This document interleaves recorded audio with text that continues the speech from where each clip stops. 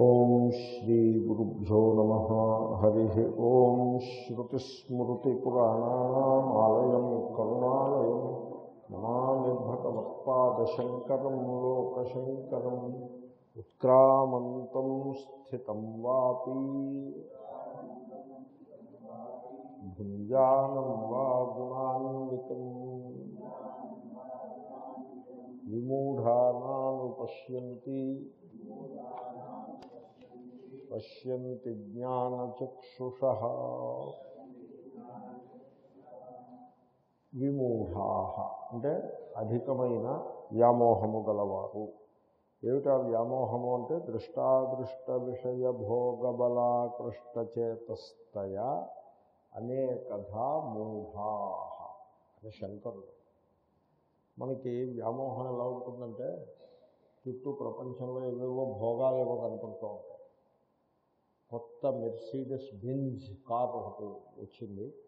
అది రోడ్డు మీద అలాగా నల్ల త్రాచు వల్ల అలా జర జర పాకేసి వెళ్ళిపోతూ ఉంటుంది అనమాట వెళ్ళిపోతుంటే అయ్యో మనం మన ప్రారంభం ఇలా ఉంది వాడు ఎంత పుణ్యం చేశాడో అనుకుని వీడు కంగారు పడిపోతూ ఉంటాడు దుఃఖపడతాడు సో కాబట్టి ఆ విధంగా దృష్టమైన భోగముల చేత బలముగా చాలా ఫోర్స్గా వీడి మనస్సు ఆకర్షింపబడుతుంది. అలాగే దివ్య భోగములు ఇది దృష్ట అదృష్ట భోగాలు.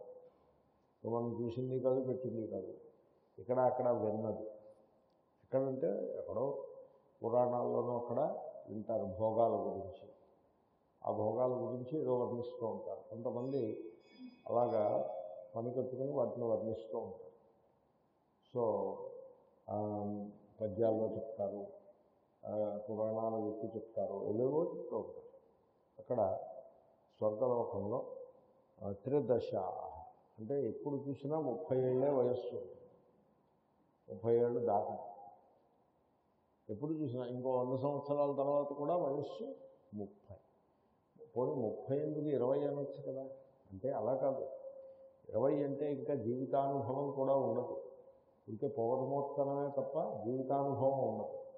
ఒక అనుభవం ఉండి వయస్సు బాగా ఉన్నప్పుడు అనుభవ ఈ సుఖానుభూతి చాలా ఎక్కువ ఉంటుంది. అనుభవం లేని వాడికి హడావిడి తప్ప సుఖానుభూతి ఉండదు. కాబట్టి ముప్పై అంటే వాడికి మంచి వయస్సు ఉంటుంది జీవితానుభవము మెచ్యూరిటీ కూడా ఉంటుంది.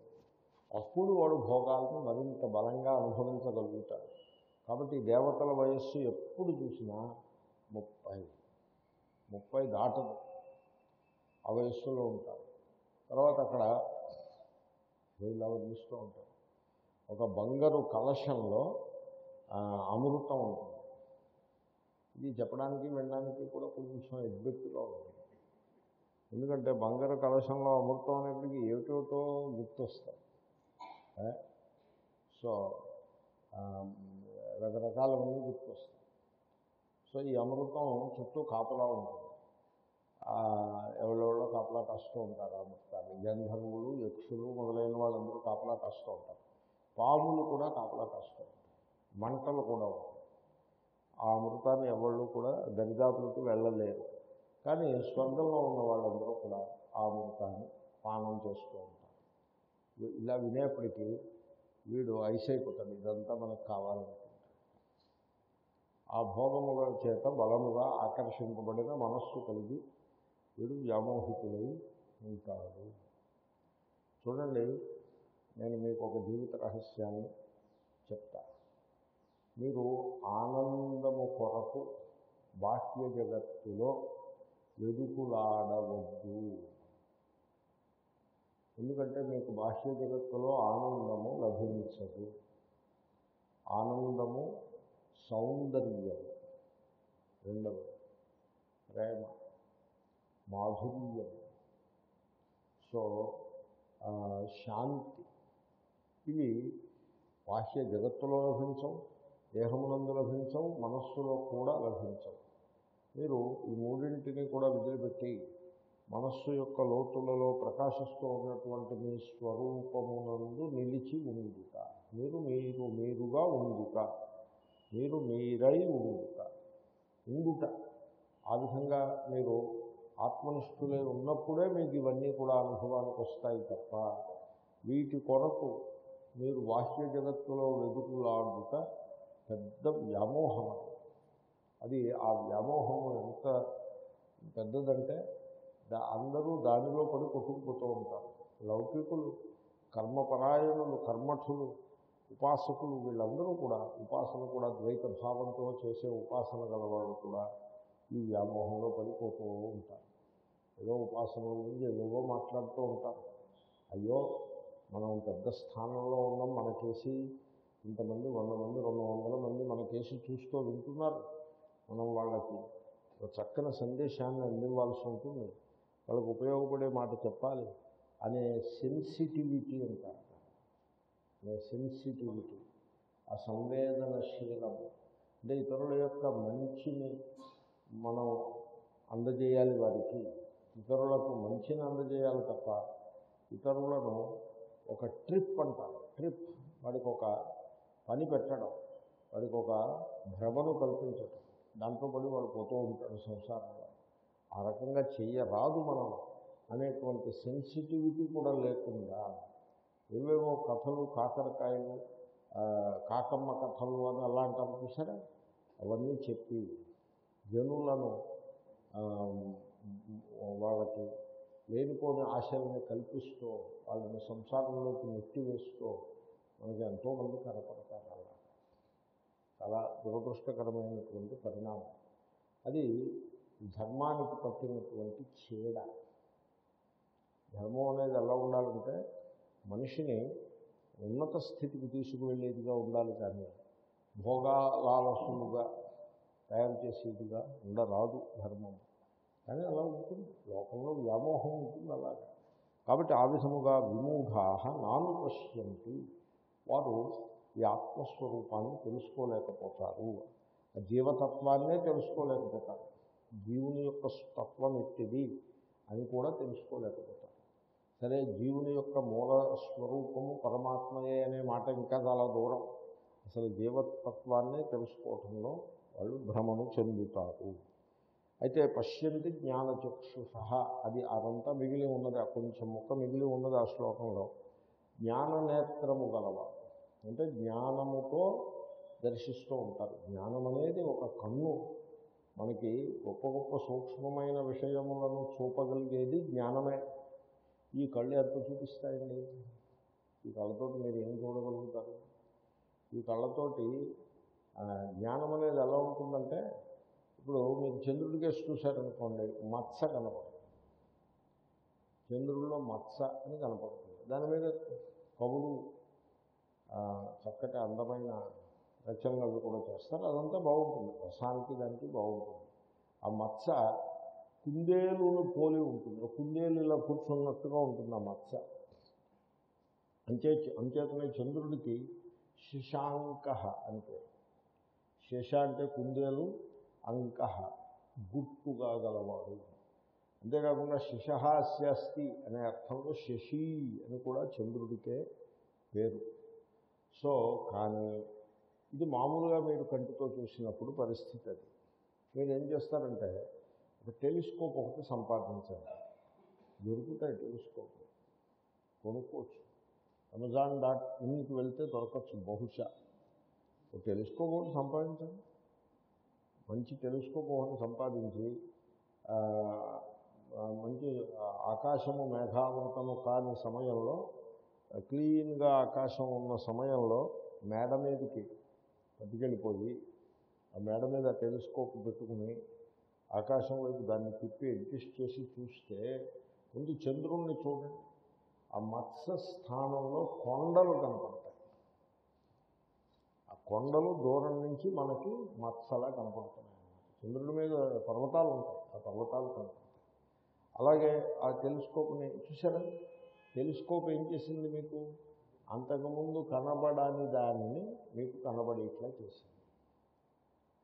అదేవిధంగా ఈ జ్ఞానం శాస్త్రము బోధించే విషయములను జాగ్రత్తగా మీరు తెలుసుకున్నప్పుడు ఆ జ్ఞానం అనే నేత్రము నిర్మాణం అవుతుంది మీ లోపల. అప్పుడు మీకు మామూలుగా కంటికి కనబడని విషయములు కూడా తెలుస్తాయి. కనబడతాయంటే తెలుస్తాయి. పశ్యంతి జ్ఞానచక్షుష. జ్ఞానమే కన్నుగా గలవారు చూస్తూ ఉంటారు. పశ్యంతి చూస్తూ ఉంటారు. చూడడం అంటే తెలుసుకుంటారు. కాబట్టి దేహ కంటితో కనపడేది దేహము. మనిషి దేహం కనపడుతూ ఉంటుంది కంటితో. కానీ దేహము లోపల మనస్సు మనస్సు కూడా తెలుస్తూ ఉంటుంది. మనస్సు అనేది ఒకటి ఉన్నది అని తెలుస్తూ ఉంటుంది. మనకి మనస్సు ఉంది అని మనకు తెలుస్తూ ఉంటుంది. అలాగే ఇతరుల ఎందుకు కూడా మనస్సు గలదు అని తెలుస్తూ ఉంటుంది. వాళ్ళ యొక్క ప్రవర్తనని బట్టి వీడికి మనస్సు ఉన్నది అని తెలుస్తూ ఉంటుంది. వాడు దుఃఖిస్తున్నాడు అనుకోండి మనస్సు ఉండబట్టే కదా దుఃఖిస్తున్నాడు. మనస్సు లేకపోతే ఎందుకు దుఃఖిస్తాడు? కాబట్టి మామూలు మనస్సు కాదు. వ్యామోహితమైన మనస్సు అయి ఉండాలి కూడా పైగా. దుఃఖిస్తున్నాడంటే నానుశోచంతి పండిత. పండితులు జ్ఞానము గలవారు దుఃఖించరు. కానీ వీడు కూర్చుని భోగభోగం దుఃఖిస్తున్నాడు అంటే సరే మంచిది వీడికి మనస్సు ఉంది ఆ మనస్సు నిండా వ్యామోహము భ్రమ కూడా భ్రమలు చాలా దిట్టంగా ఉన్నాయి అని మనకు తెలుస్తూ ఉంటుంది చూడండి. కాబట్టి ఈ రెండు కంటితోటి చూసి మనం తెలుసుకోవచ్చు.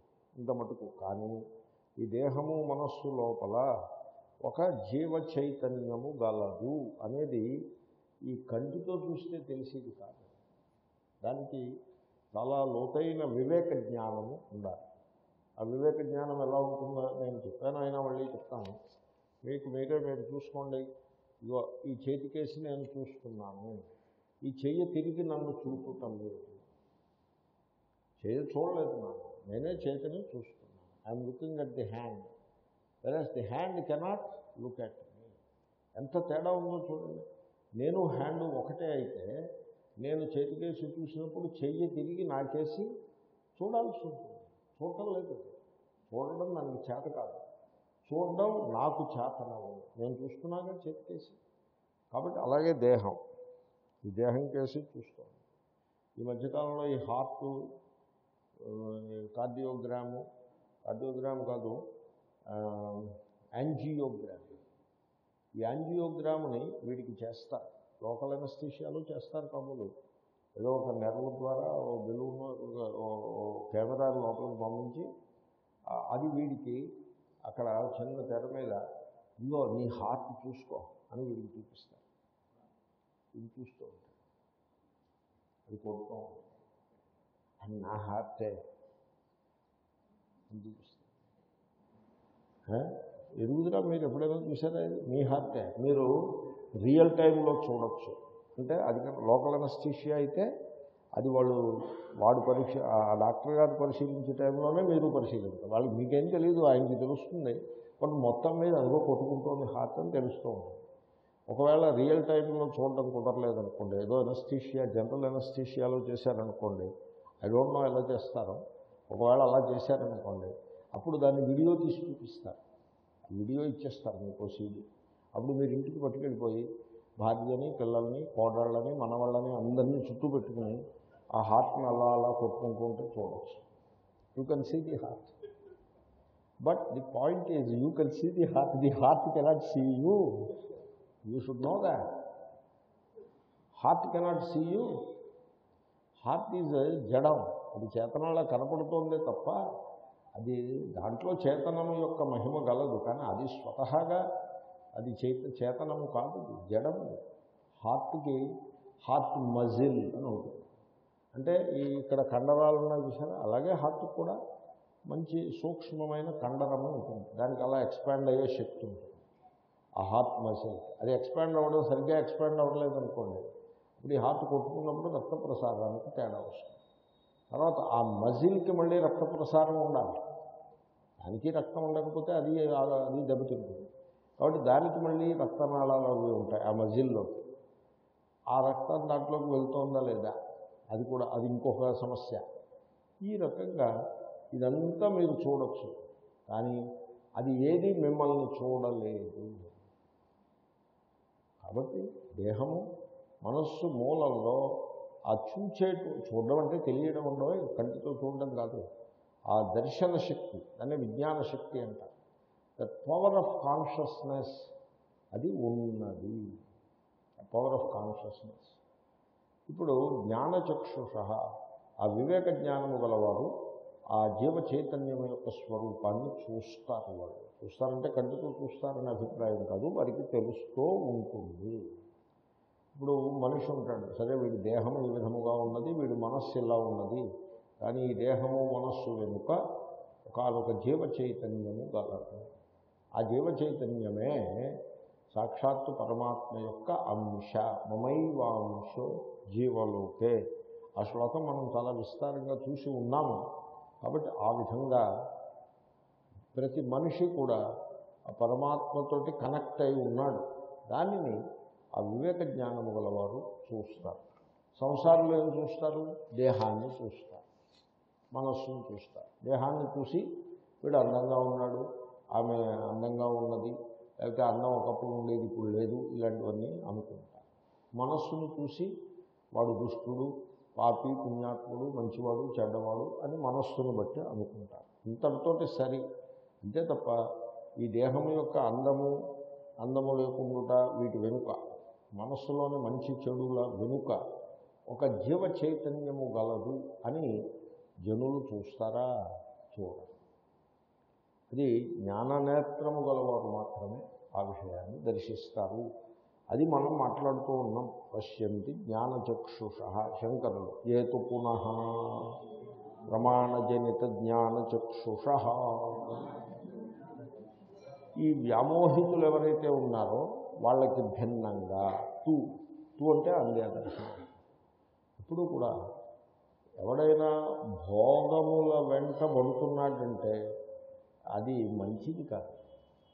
అది అంత తెలివైన పద్ధతి కాదు. మనం ఆలోచించుకోవాలి.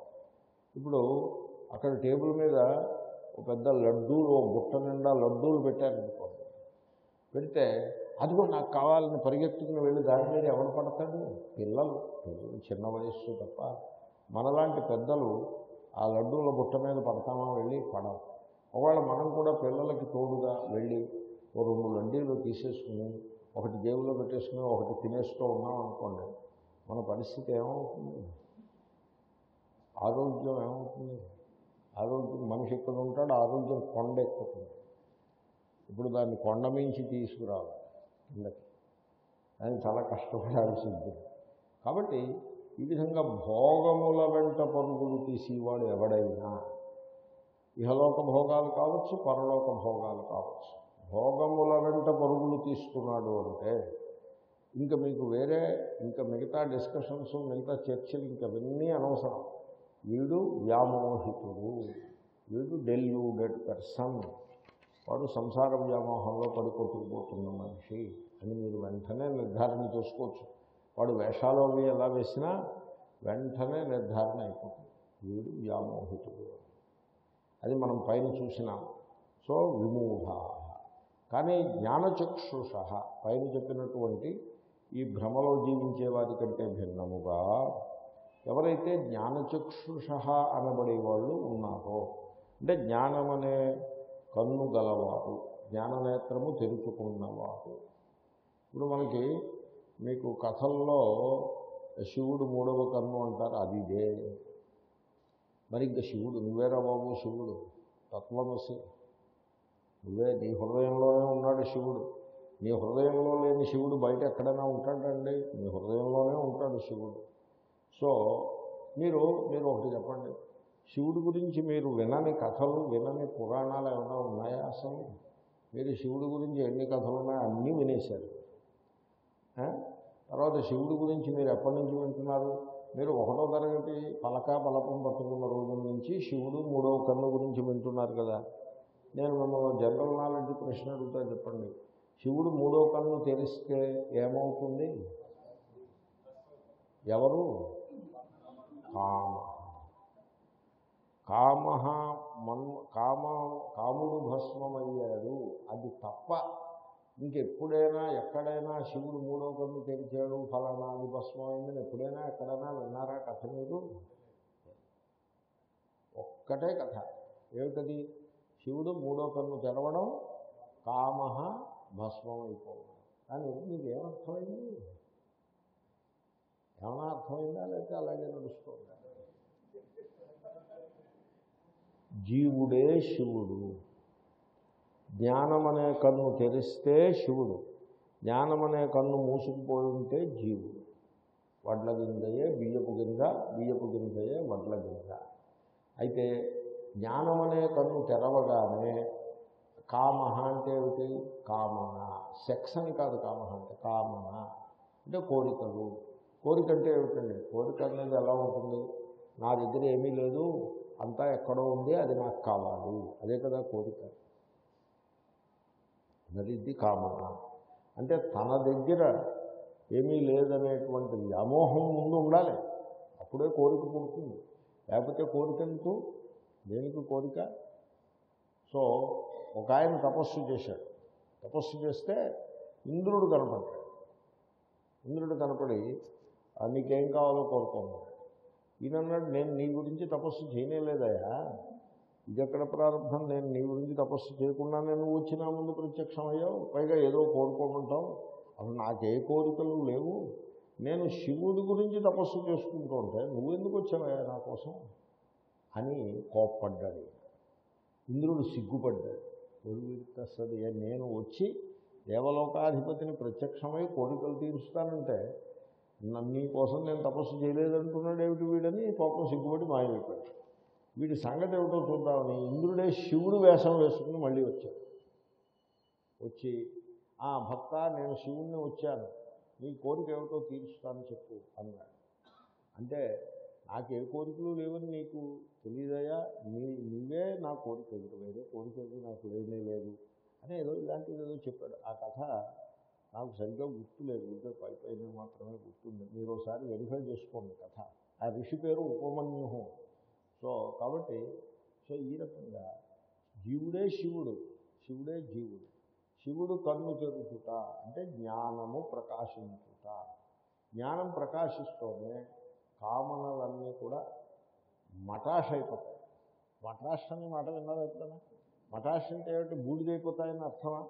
అంతే good. So that is what it is భస్మం అయిపోతాయి. ఎందుకంటే ఎలా అయిపోతాయండి భస్మం?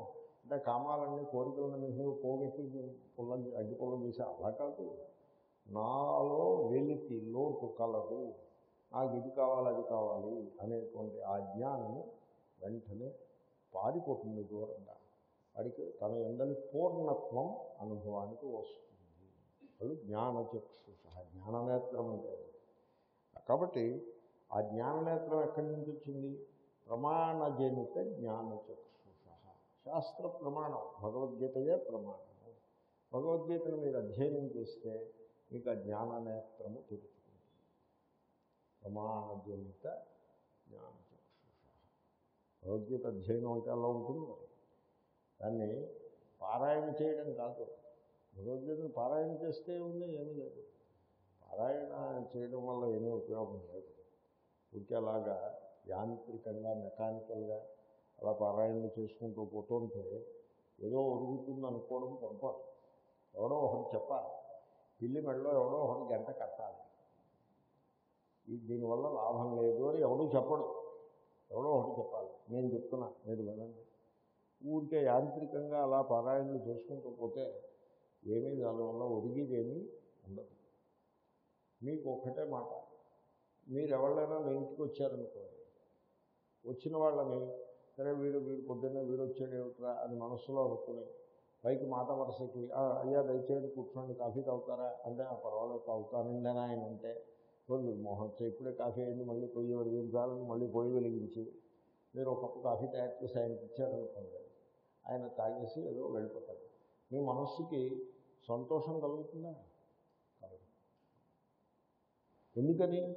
మీ మీరు కాఫీ అయితే రమ్మన్నారే తప్ప ఆ ఫీలింగ్ మీలో లేదు. కాఫీ ఇచ్చారే తప్ప మీరు మనం కాఫీ ఇచ్చి సంతోషపెట్టాలి అనే ఫీలింగ్ మీలో లేదు. కాబట్టి రమ్మండము తప్పలేదు కాఫీ కాచి ఇవ్వడము తప్పలేదు కానీ మీకు మాత్రం at the end of it ఒక సంతోష భావన కలగలేదు. ఎప్పుడు కూడా ఫీలింగ్ లేకుండా ఆ భావన ఆ హృదయంలో ఆ భావన ఆ ప్రేమ లేకుండా చేసి పని అలాగే ఉంటుంది. దాంట్లో రసం ఉండదు. ఇప్పుడు చెరుకు గడ ఉందనుకోండి ఎండిపోయి వడలిపోయిన చెరుకు గడను పీకి ఊరికే నవ్వితే ఏమవుతుంది? ఏముండదు. రసం ఉండదు. ఆ రకంగా మీకు భావన లేని పని ఏది చేసినా మీకు ఆ రసానుభవము కలుగదు. కాబట్టి భావన ఉండాలి. ఊరికే రోజు పదిసార్లు దేవుడు దేవుడు దేవుడు దేవుడు అని అల్లరి చేస్తే ఏమైనది? ఆ దైవత్వ భావన మీ హృదయంలో కలిగినదా? గాడ్లీనెస్ అంటారు ఊరికే గాడ్ గాడ్ గాడ్ గాడ్ అని పారాయణలోను లేకపోతే భజనలు చేస్తే ఏమైంది? మీ హృదయంలో గాడ్లీనెస్ అనుభవానికి వస్తుందా? గాడ్లీనెస్ అంటే ఎలా ఉంటుంది? తన తనవాడు పరాయివాడు అనే భేదాలు ఉండవు. అందరి ఎడల ప్రేమ ఉంటుంది. చాలా సెన్సిటివ్గా ఉంటుంది. ఒక మొక్కని తుంపాలని ఒక పువ్వుని నలపాలని అనిపించదు దేన్ని చూసినా. చాలా సెన్సిటివ్గా ఉంటారు. ఎంత సెన్సిటివ్గా ఉంటారంటే తలుపు వేసేప్పుడు మెల్లగా తలుపు వేస్తాం. తలుపు గట్టిగా వేస్తే అది చుట్టుపక్కల వాళ్ళకి ఇబ్బంది కలుగుతుందేమో అని మెల్లగా తలుపు వేస్తాం. అంత సెన్సిటివ్గా ఉంటారు. ఆ సెన్సిటివిటీ. తర్వాత ఇతరుల ఏడల ప్రేమ. మనం ఇతరులకి ఉపకరించాలే తప్ప మన వల్ల ఎవరికి అపకారము కలుగ రాదు. మనం ఏదైనా సేవ చేయ చేయగలగాలి. ఆ పరమేశ్వర స్వరూపాన్ని హృదయంలో భావన చేసుకోవాలి అని ఇలా ఉంటుంది. దిస్ ఈజ్ కాల్డ్ గాడ్లీనెస్ అదేమీ లేకుండా కేవలము దేవుడు దేవుడు దేవుడు దేవుడు అని ఉంటే కుస్తీ పట్టి గడబిడ చేస్తే అది దైవత్వం దేవుడు వచ్చేస్తాడా? కాబట్టి హృదయంలో భావన లేకుండా ఊరికే పారాయణ చేసినా కూడా పెద్ద ఉపయోగమేమీ ఉండదు. కనుక ప్రమాణజనిత జ్ఞాన చక్షుష గీత ప్రమాణం. అది మనకి ఆత్మస్వరూపాన్ని బోధించేటువంటి ఒక దీపము వంటి ప్రమాణము అంటే దీపము. దీపం పెట్టారనుకోండి దానివల్ల ఉపకారం ఏమిటి? ఆ దీపం వెలుగులో మీకు అన్నీ స్పష్టంగా కనపడుతూ ఉంటాయి. అది దీపం వెలుగు అంటే అలా ఉంటుంది. దీపం వెలుగులో అన్నీ స్పష్టంగా కనబడతాయి. అది ప్రమాణము అంటారు దీపము ప్రమాణము అన్నిటినీ స్పష్టంగా చూచుటలో ఏది ప్రమాణము? దీపం. అలాగే మానవ జీవితాన్ని అంత స్పష్టంగా అన్ని అంశములు స్పష్టంగా మనకు తెలుస్తూ ఉంటాయి. ఎప్పుడు ప్రమాణం ఉండాలి. ఏమిటా ప్రమాణము? భగవద్గీత. కాబట్టి అటువంటి భగవద్గీత అనే ప్రమాణము వలన పుట్టినటువంటి జ్ఞానము అంటే గీతను చదివి ప్రేమతో చదవాలి. ప్రేమ ఉండాలి. కాబట్టి ప్రేమతో ఆ గీతను చదివి దాంట్లో చెప్పిన విషయాన్ని ఆకలనము చేసి ఆకలనము చేయుటంటే అంతా పరిశీలించుట లోతుగా పరిశీలించుట పరిశీలించి దాన్ని మనకి తెలుగులో ఆకలింపు చేసుకుని అంటూ ఉంటారు. ఈ ఆకలింపు అనే తెలుగు మాట బహుశా ఆకలనము అనే సంస్కృత పదం నుంచి వచ్చి ఉండవచ్చు. అలా ఉంది దగ్గరగా ఉన్నది సో ఆకలింపు చేసుకుని దాన్ని పరిశీలించి చూసుకుని దాన్ని జీవితంలో అనుభవానికి ప్రాక్టీస్లో మనం దాన్ని చూడాలి. అలా చేసినట్లయితే మనకి ఆ జ్ఞానము మన స్వంతమవుతుంది. ఆ విధంగా ఆత్మజ్ఞానాన్ని స్వంతం చేసుకున్న మహాత్ములు ప్రమాణజనిత జ్ఞానచక్షుష వాళ్ళు వాళ్ళు ఏం చేస్తారు? తే ఏనం పశ్యంతి. వాళ్ళు ఈ జీవతత్వాన్ని స్పష్టంగా చూస్తూ ఉంటారు. వాళ్ళకి అనుభవం తెలుస్తూ ఉంటుంది. వాళ్ళు ఎవరు వాళ్ళు? జ్ఞానచక్షుష. వివిక్త దృష్టయ ఇత్యర్థ. సో శంకరులు స్పష్టంగా వివేకానికి చాలా ఎక్కువ ప్రాముఖ్యాన్ని ఇస్తూ ఉంటారు. సో జ్ఞాననేత్రము గలవారు అంటే ఆ వివేక దృష్టి గలవారు.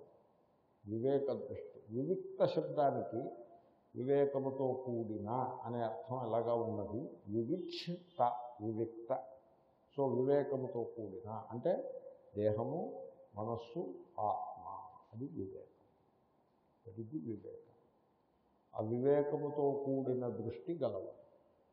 తర్వాత వివిక్త శబ్దానికి స్వచ్ఛమైన పవిత్రమైన అనే అర్థం ఉన్నది. వివిక్త దేశ సేవిత్వం అని విని ఉంటారు. స్వచ్ఛమైన దృష్టి గలవారు. చూపు స్వచ్ఛమైన చూపు గలవారు. అంటే స్వచ్ఛమైన చూపు అంటే ఏమిటి? సో మీరు ఎదరవాళ్ళని చూసేప్పుడు ప్రేమతో చూశారనుకోండి దాన్ని స్వచ్ఛమైన చూపు అంటే చూపు వెనకాల భావన ఉంటుంది. ఆ భావన పవిత్రముగా ఉంటుంది. అందరినీ ప్రేమతో చూపుతా. ఎవరి ఎడలా ద్వేషభావము లేకుండుట. అటువంటి చూపు అటువంటి భావన కలవారు దృష్టి అంటే జ్ఞానం భావన. దానిని కలవారిని ఏమంటారు? వివిక్త దృష్టయ. లేదా వివేకం దేహము మనస్సు ఆత్మ అనే వివేకం. ఆత్మ అంటే అదే నేను ఆత్మ అనగానే మనకి ఇది తెలియనిది తర్వాత ఎప్పుడో తెలుస్తుంది అని అనుకోకూడదు. దేహము అన్నాను. తెలిసిందా మీకు? తెలిసిందా తెలియలేదు? తెలిసింది. మనస్సు తెలిసిందా? తెలిసింది. సరిగ్గా అలాగే ఆత్మ అంటే తెలియాలి. You should be able to see that way దేహము అంటే పోస్ట్ పోన్ చేసిన తర్వాత తెలుస్తుందిలే అంటారా? మనస్సు ఆ తర్వాత ఎప్పుడో తెలుస్తుంది అంటారా? అంటారు. ఆత్మ అనే ఓహో ఆత్మ. సరే, తర్వాత తెలుస్తుంది అలా వాయిదా వేసేయడం కాదు. ఆత్మ అంటే ఏమిటో తెలుసునండి ఇంతే. నేను చేతికేసి చూస్తున్నాను చెయ్యి నన్ను చూచుటలేదు. అదే ఆత్మ సాక్షి. మనస్సుని నేను చూస్తున్నా తప్ప మనస్సు నన్ను చూడలేదు. అది సా అది ఆత్మ. కాబట్టి ఇప్పుడు చెప్పండి ఆత్మ అంటే ఎప్పుడో తర్వాత సంగత ఇప్పుడు సంగత ఇప్పుడు సంగత? ఆ విధంగా దేహము మనస్సు ఆత్మ అనే వివేక దృష్టి ఆ తేడా.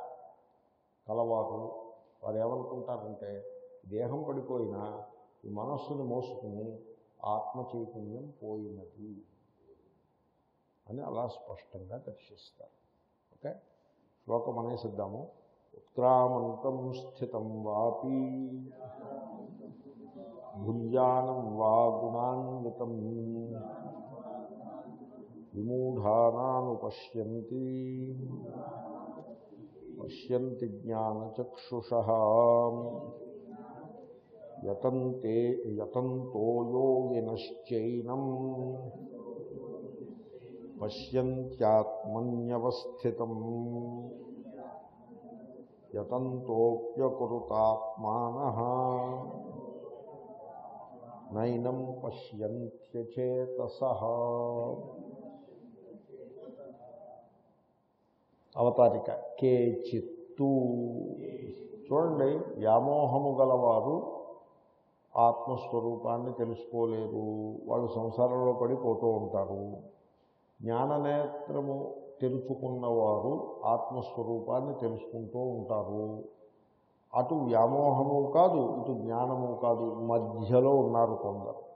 వాళ్ళు ఎవళ్ళు ఈ ఆత్మస్వరూపాన్ని తెలుసుకోవాలనే సాధన చేయువారు. సాధకులు మధ్యలో ఉన్నారు. వాళ్ళు ఎంతమంది ఉంటారో ఎవరో కొద్దిమంది ఉంటారు. జ్ఞాన జ్ఞానం జ్ఞానులు వేళ్ళ మీద లెక్క పెట్టదగ్గ మంది ఉంటారు.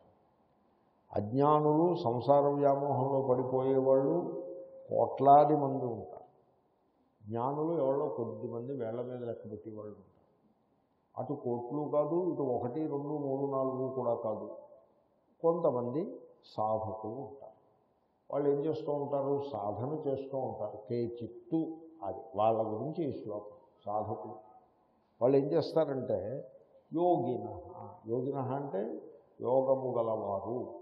యోగము అంటే సాధన.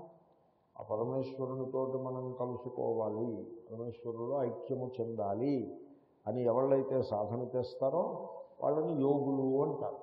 యోగ శబ్దానికి అర్థం గీతలో అదే అర్థం. అయితే లోకంలో యోగము అంటే ఆసనాలు అవి వేసేవాళ్ళు. ఈ యోగ యోగం అంటే ఆసనములు. ఆసనములు ఇంకొంచెం ముందుకు వెళ్తే ప్రాణాయామము. అక్కడతో సరిపెడతారు. అని హఠయోగము అంటారు. ఆసనములు ప్రాణాయామం అక్కడతో సరిపెడతారు. సో అవి మంచివి అవి అవసరం. అవి లేకపోతే ఆసనములు ప్రాణాయామము లేకపోతే మీకు అనేక కష్టాలు వస్తాయి ఆ కష్టాల నుంచి బయటపడాలంటే చక్కగా ఆసనములు ప్రాణాయామము వేస్తూ ఉండాలి. ఉదాహరణకి మెడ ఉంది. మెడ మీకు మెడ గురించి ఎప్పుడు ఆలోచించుకొనే ఆలోచించుకోరు. దాని గురించి ఆలోచించాల్సిన అవసరం మీకు ఎప్పుడు కలగదు పురుషులకు. స్త్రీలకైతే మెడలో ఏం పెట్టుకోవాలి? కాసులు పేరు పెట్టుకోవాలా? లేకపోతే నెక్లెస్ పెట్టుకోవాలా? ఇదే ఆలోచన తప్ప మెడలో పెట్టుకునే దాని గురించి ఆలోచనే తప్ప మెడ గురించి ఆలోచన స్త్రీలకి ఉండదు. ఎవళ్ళు మెడ గురించి ఆలోచించరు.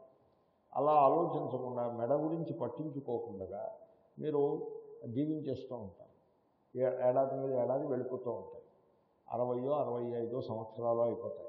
అప్పుడు మెడ అనుకుంది నువ్వు నన్ను ఇంతకాలం నెగ్లెక్ట్ చేసేవు కనుక నీ సంగతి నేను చూస్తా కాసుకోవడం మొదలు ఏమిటో ఇక్కడ నొప్పిగా ఉన్నట్టుందే. ఎందుకబ్బా నొప్పిగా ఉందని అప్పుడు ప్రారంభం అవుతుంది.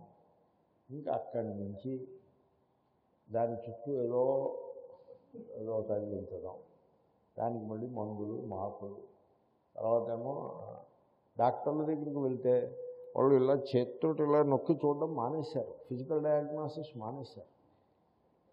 స్టాప్ ఫిజికల్ డయాగ్నోసిస్ మెడ నొప్పిగా మెడ నొప్పిగా ఉందా? అల్ట్రాసౌండ్ స్కాన్ అని రాసి పో అనే కాగితం వాడి ముఖం మీద పారేసి పోవాలి.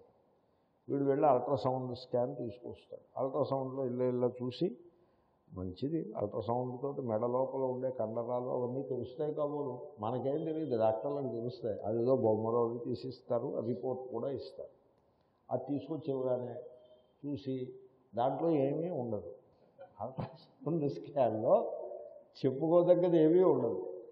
సో ఈ మజిల్స్ అన్నీ కూడా బాగానే ఉన్నాయి. ఎముకలు కూడా బాగానే ఉన్నాయి. ఎక్కడా కూడా ఎవరేషన్ ఏమి ఉన్నట్టు కానీ లేకపోతే మజిల్ డ్యామేజ్ ఉన్నట్టు కానీ ఏమీ కనపడటం లేదు అని ఉంటుంది. అని ఒక సంతకంతో ఇప్పుడు ఏం చేయాలి వాటుడు అప్పుడు మళ్ళీ ఎక్స్రే అది మళ్ళీ మళ్ళీ ఇంకొకటి రాసిచ్చేస్తారు పోయిరా. ఈ లోపల నొప్పికి ట్యాబ్లెట్లు రాసిస్తారు. నొప్పి ట్యాబ్లెట్లు ఉన్నాయి కదా నొప్పి ట్యాబ్లెట్ ఓ ట్యాబ్లెట్ వేసుకుంటూ ఉంటాం సరే మీరు ఎక్స్రేకి వెళ్తారు. ఎక్స్రే ఆ బొమ్మ తీసి వాడు మళ్ళీ తీసుకుని మళ్ళీ డాక్టర్ గారి దగ్గర ఒకసారి ఎక్స్రే చూసి ఆ ఎక్స్రేలో ఎముకలన్నీ కూడా సక్రమంగానే ఉన్నాయి ఏమీ తేడా నొప్పి మాత్రం అలాగే ఉంది. అంటే మరి మెడని మీరు నెగ్లెక్ట్ చేసినందుకు మిమ్మల్ని అది ఉప్పలు పెట్టి ఊడి చెరువులు నీళ్ళు తాగిస్తుంది ఆ మెడ. అప్పుడు డాక్టర్ గారు ఏమంటారంటే ఇది అల్ట్రాసౌండ్లోనూ ఎక్స్రేలోనూ ఏది బయటపడలేదండి ఎంఆర్ఐ మీరు చేయించండి. అని మ్యాగ్నెటిక్ రెజనెన్స్ ఇమేజింగ్ చేయించండి. ఎంఆర్ఐ చేయించండి అని ఇస్తే అది దాంట్లో రెండు సమస్యలు ఉంటాయి ఎంఆర్ఐ అదేమిటంటే మొదటి సమస్య మామూలుగా అల్ట్రాసౌండ్కి ఎక్స్రేకి ఐదు వందలు వెయ్యి రూపాయలు లోపు మాట.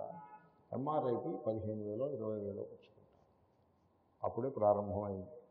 తర్వాత ఎంఆర్ఐకి మిమ్మల్ని ఏం చేస్తారంటే ఈ ట్యూబు వెల్ ఉంటుంది సరే ఆ ట్యూబు వెళ్ళలోకి తోసేస్తారు. మీకు కనుక రెస్ట్రిక్టెడ్ స్పేసెస్ ఫోబియా ఏదైనా ఉన్నట్లయితే లోపల మీకు చాలా భయం అది వేస్తుంది. ఆ ట్యూబ్ తోసేస్తాయి చుట్టూ ఒక ఈ తోరలు ఉంటే చూసారా రోడ్డు పక్కన తోరలు మన ప- తోరలు చూసారా మీరు వచ్చేప్పుడు? అలాంటి తోరలో మిమ్మల్ని పడుకోబెట్టారనుకోండి ఎలా ఉంటుంది? అలా చేస్తారు అక్కడ చేసి ఆ మ్యాగ్ అది మ్యాగ్నెట్ అన్నమాట మ్యాగ్నెట్ అయ్యి ఉంటుంది. మ్యాగ్నెటిక్ అని ఉంది కదా అంటారు సో ఆ మ్యాగ్నెట్ లోపల కూర్చోబెట్టి ఇంకా అక్కడి నుంచి ఈ చెవుల్లో ఆ తోరలో కూర్చోబెట్టి పైన బాజాలు వాయిస్తే ఎలా ఉంటుంది? లైక్ అమేజింగ్ ఇవాళ ట్యూబ్లో కూర్చోబెట్టి ఆ ట్యూబ్ మీద చక్కగా బాజాలు భజంత్రిలు వాయించారనుకోండి ఎలా ఉంటుంది లోపల? చాలా ఇబ్బందికరంగా ఉంటుంది. అలాగా డగ డగ డగ డగ డగ డగ అని భాజాలు భజంత్రిలు పెడతాడు అదే అది ఇమేజ్ తీస్తోందనమాట అలాంటిది ఏదో అయ్యి పైగా మీకు భయం వేసేసి మీరు తట్టుకోలేకపోతే ఈ స్విచ్ని ఒక్కడిని నువ్వు స్విచ్ ఒకటి చేతికి ఇస్తాడు. అమెరికాలో ఇస్తాడు. ఇక్కడ ఇస్తారో ఎవరో కూడా తెలియదు నాకు. స్విచ్ లేదు ఏం లేదు పడేసి కానీ అని ఎలా చేస్తుందో తెలియదు నాకు. సో వాటెవర్ సో ఇది అరగంట ఉంటుంది ఈ కార్యక్రమం. దీనికంటే మెడ రూపుతో బతకడమే మేలు అనిపిస్తుంది. అది కాగితం పట్టుకొస్తారు. పట్టుకొస్తే మళ్ళీ అవన్నీ చూసి ఏదో తేడా పెద్ద స్పష్టంగా కనపట్టలేదు మొత్తానికి ఏదో అయ్యి ఉంటుందిలే అని ట్యాబ్లెట్లు రాసిస్తారు. మళ్ళీ డెక్లోఫినాక్ సోడియం ఉంటుంది రాసిస్తారు. ఈ దీన్ని ఇంకోటి మహాభాగ్యాలు అదేదో ముందే చేయొచ్చు కదా. ఈ సమస్యని మీరు పరిష్కరించుకోవాలంటే ఏం చేయాలి? ఏం చేయాలో తెలుసిన? ఆసనాలు వేయాలి. కాబట్టి మెడకి ఆసనాలు కొన్ని ఉంటాయి. సర్వాంగాసనము అని ఒకటి ఉంటుంది. అలాగే ఇంకేవో ఆసనాలు ఉంటాయి. వాటిని నేర్చుకుని మీరు వేస్తే ఈ సమస్యలు అలాగే వెన్నెముక ఇవన్నీ కూడా ఈ అవయవాలు మీరు కొంచెం ఆసనాలు వేసి ఎక్సర్సైజులు చేస్తే అవి అలా కంట్రోల్లో ఉంటాయి కానీ లేకపోతే చాలా హానిని కలి ఇబ్బందిని పెడతాయి. మీకు మీకు ఎవరికి అటువంటి ఇబ్బంది కలగకూడదని నా నా భావన. అందుకోసం నేను ఇంత చేతస్థంగా కథ కింద చెప్పాను. మీకు ఎవరికి అటువంటి ఇబ్బంది కలగకూడదని నా అభిప్రాయం. అందుకంటే వేరే ఏం లేదు. కాబట్టి యోగం అంటే ఇది అనుకుంటారు. ఇది ఆసనములు ప్రాణాయామము అది యోగం అనుకుంటారు. అది దాని దానికి నరేంద్ర మోడీ గారు చిన్న దృష్టాంతం చెప్పారు. సంగీత కచేరీకి ముందు ఆ వైలిన్ స్ట్రింగులు బిగించుకుని కీకి అలాగే తబలాని పిల్లలు అది ఇది. అది అది కాదుగా కచేరీ అంటే అది దానికి కచేరీకి ఎంతటి సంబంధమో ఈ ఆసనములు ప్రాణాయామములకు అసలైన యోగానికి అంత సంబంధం అంటే ఈ బిగించులు ఇవన్నీ కూడా ఉంటే ఆరంభం మాత్రమే. అసలు ఇంకా ఆరంభం కూడా కాలేదు. ఈ ఆసన ప్రాణాయామములు అట్టివి అవి శరీరం ఆరోగ్యంగా ఉండడానికి ఉపయోగపడతాయి. ప్రాణాయామం మనస్సు మీద కూడా కొంత ప్రభావం ఉంటుంది. కొందరి మనస్సు ఎలా ఉంటుందంటే అది కళ్ళు తాగిన కోతి వలె ఉంటుంది ఆ మనస్సు. కొందరి మనస్సు అలా ఉంటుంది దానికి ఒక స్థిరమే ఉండదు. అది ఇటు అటు అటు కళ్ళుక తాగిన కోతి కోతిని ఎప్పుడైనా చూసారా అది కళ్ళు తాగిందనుకోండి ఇంకెలా ఉంటుంది కొందరి మనస్సు అలా ఉంటుంది వాళ్ళు ఎక్కడా దేని దేని మీద స్థిరం ఉండరు. దేని మీద స్థిరం ఉండరు. వాళ్ళు ప్రాణాయామం చేసినట్లయితే కొంత స్థిరత్వం వస్తుంది. స్థైర్యం ఆత్మ వినిగ్రహ అని అన్నాడు శ్రీకృష్ణుడు. జ్ఞాన లక్షణాల్లో స్థైర్యాన్ని చెప్పాడు. స్థిరంగా ఉండడం అనేది కూడా ఒకటి అవసరం. అది ప్రాణాయామం ద్వారా కొంతవరకు మనస్సుకు వచ్చే అవకాశం ఉన్నది. ఇంకే అది ఆరంభమే యోగం అంటే ఆరంభమేది ఆరంభం కూడా కాదు. అసలైన యోగమంతా కూడా ఇంకా ముందు ముందు కర్మయోగము. అది కూడా బహిరంగమే. వివేక జ్ఞానయోగము అది అంతరంగము అంటే మీరు మీరు ఈ పాటికి కొంచెం లోతుల్లోకి వెళ్తున్నారన్నమాట. అది యోగిన. అంటే అర్థం. యోగిన. ఇంతలా ఎందుకు చెప్పారంటే యోగిన అంటే యోగులు. యోగులు అంటే ఎవరి దృష్టి వాళ్ళది. ఆసనాలు వేసి వాళ్ళు యోగులను కొంతమంది పెద్ద పెద్ద గడ్డాలు మీసాలు పెంచుకుని హుక్క హుక్క పీలుస్తూ హుక్క అయినా హుక్క లాంటిది. అదేదో గొట్టం ఉంటుంది. ఆ గొట్టాన్ని పీలుస్తూ ఉంటారు. వాళ్ళు యోగులని కొంతమంది అభిప్రాయం. ఇలాంటి యోగులు అంటే ఏమిటేమిటో అభిప్రాయాలు ఉన్నాయి. భగవద్గీతలో యోగ శబ్దానికి అర్థం జ్ఞానము అని అర్థం. అంటే వివేక జ్ఞానము. అంటే మిగతా యోగాలంటే ఏమిటి? ఆసన ప్రాణాయామాదులు ఆవశ్యకము. అవసరమైనంత మేరకు వాటిని స్వీకరిస్తూ వివేక జ్ఞానమును అభ్యసించేటువంటి సాధకులకు యోగులు అని పేరు. అంతే తప్ప యోగులనగా చిలుము గొట్టంతో ఏదో హుక్క పొగని పీల్చేవారు అని మాత్రం మీరు అనుకోవద్దు సుమా. యోగిన వాళ్ళు యోగులు కాదు. వాళ్ళు ఎడిక్ట్స్ వ్యసనములకు బానిసలు. వాళ్ళు ఏమి యోగులు కాదు ఏమీ కాదు. అప్పుడప్పుడు హృషికేశ్ వెళ్తే కనపడతారు అక్కడ. గొట్టం తీరుస్తావు చిలుము గొట్టం తీరుస్తావు యోగుల వండి మేమంటారు కూడా పైగా. నిజమనుకున్నారు. సో యోగిన. ఈ యోగులు ఏం చేస్తారంటే యతంత ప్రయత్నం చేస్తూ ఉంటారు. అంటే ఆత్మ అనాత్మ వివేక జ్ఞానమును సంపాదించే ప్రయత్నం చేస్తూ ఉంటారు. అంటే ప్రయత్నం ఎలా ఉంటుంది? ఏదైనా బరువు పైకెత్తి నివేదించి అలా ఉంటుందా? అలా ఉండదు. శాస్త్రాధ్యయనం చేస్తూ ఉంటారు. అంటే భగవద్గీత అధ్యయనము శ్రవణ మననములు ఇత్యాదులు చేస్తూ ధ్యానం నిధిధ్యాసనము చేస్తూ ఉంటారు. వీళ్ళు యోగులు. యతంతో యోగిన. యతంత చాలా ముఖ్యం. కొంతమంది మామూలుగా ఆ రోజు రచ్చబండ దగ్గర పది మంది కూర్చుని కబుర్లు చెప్పుకుంటూ కాలక్షేపం చేసే టైంలో అలాగే ఎవరు రాలేదు. అందరూ ఎక్కడికో పోయారు. ఆయన ఒక్కడే వచ్చాడు రచ్చబండ దగ్గర ఏం చేయాలో తోచలేదు. కబుర్లు చెప్పేవాళ్ళు ఎవరు లేరుగా? ఈయనతో కూర్చుని కబుర్లు చెప్పేవాళ్ళు ఎవరు ఉన్నారు? ఎవరు లేరు. అప్పుడు ఏమిటో అక్కడ పది మంది ఉన్నారు. ఏం చేస్తున్నారు అక్కడ? అంటే అక్కడ గీత పాఠం అవుతుంది ఓ చూద్దాం రా అని గీత పాఠానికి రాడు. వచ్చి ఓ అరగంట సేపు కూర్చుని చాలా ఇది మనకి వర్కౌట్ కాదని లేచక్కపోవడం అలాంటి వాళ్ళు కాదండి. అలాగా ఊరికే కాలక్షేపం కోసమో అంటే కుతూహలం ఏముందో తెలుసుకుందాం అనేటువంటి క్యూరియాసిటీ కొరకు అలా తొంగి చూస్తారు. తొంగి చూడడమే లోపలికి వస్తే అంటుకుంటుందేమో అని భయం. అక్కడ నిలబడాలి. అక్కడ నిలబడి అలా చూస్తాం. లోపలికి వస్తే ఏమో లోపలికి వస్తే అడ్డుకుంటుందేమో ఆయన ఏదైనా కూర్చోబెట్టేసి తలను దూతాడేమో అని భయంతో అట్టించాడే కొంతమంది లోపలికి వచ్చి ఏమిటో చూద్దాం. ఏదో బాగుంటున్నాడు కదా లెటస్సి అని ఒక పావుగంట సేపు కూర్చొని. ఏదైనా కథ ఏదైనా చెప్తే బాగుంటుంది కానీ ఏమిటో చెప్తున్నాడు ఇదేం మనకు అనుకూలంగా లేదని లేచకపోతారు అలాగ మాట వరసకి కాలక్షేపం వానాకాలపు చదువులన్నట్టుగా అలాగ ఉండకూడదు. యతనిత దృఢమైనటువంటి సాధన చేసేటువంటి యోగులు.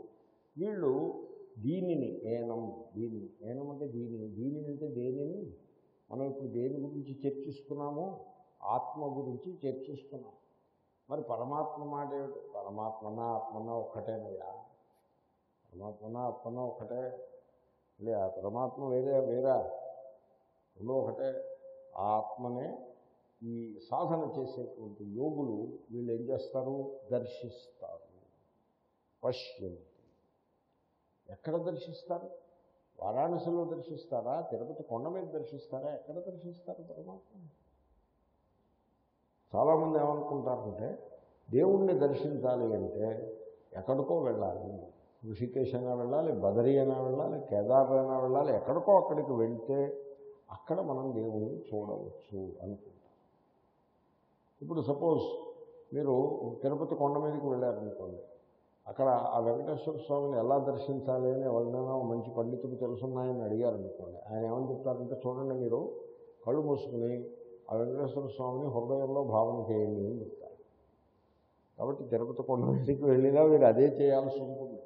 Finally you have to do that కాబట్టి అదేదో తిరుపతి కొండ మీదకి వెళ్ళి చేయొచ్చు ఇక్కడ కూర్చుని కూడా చేయొచ్చు.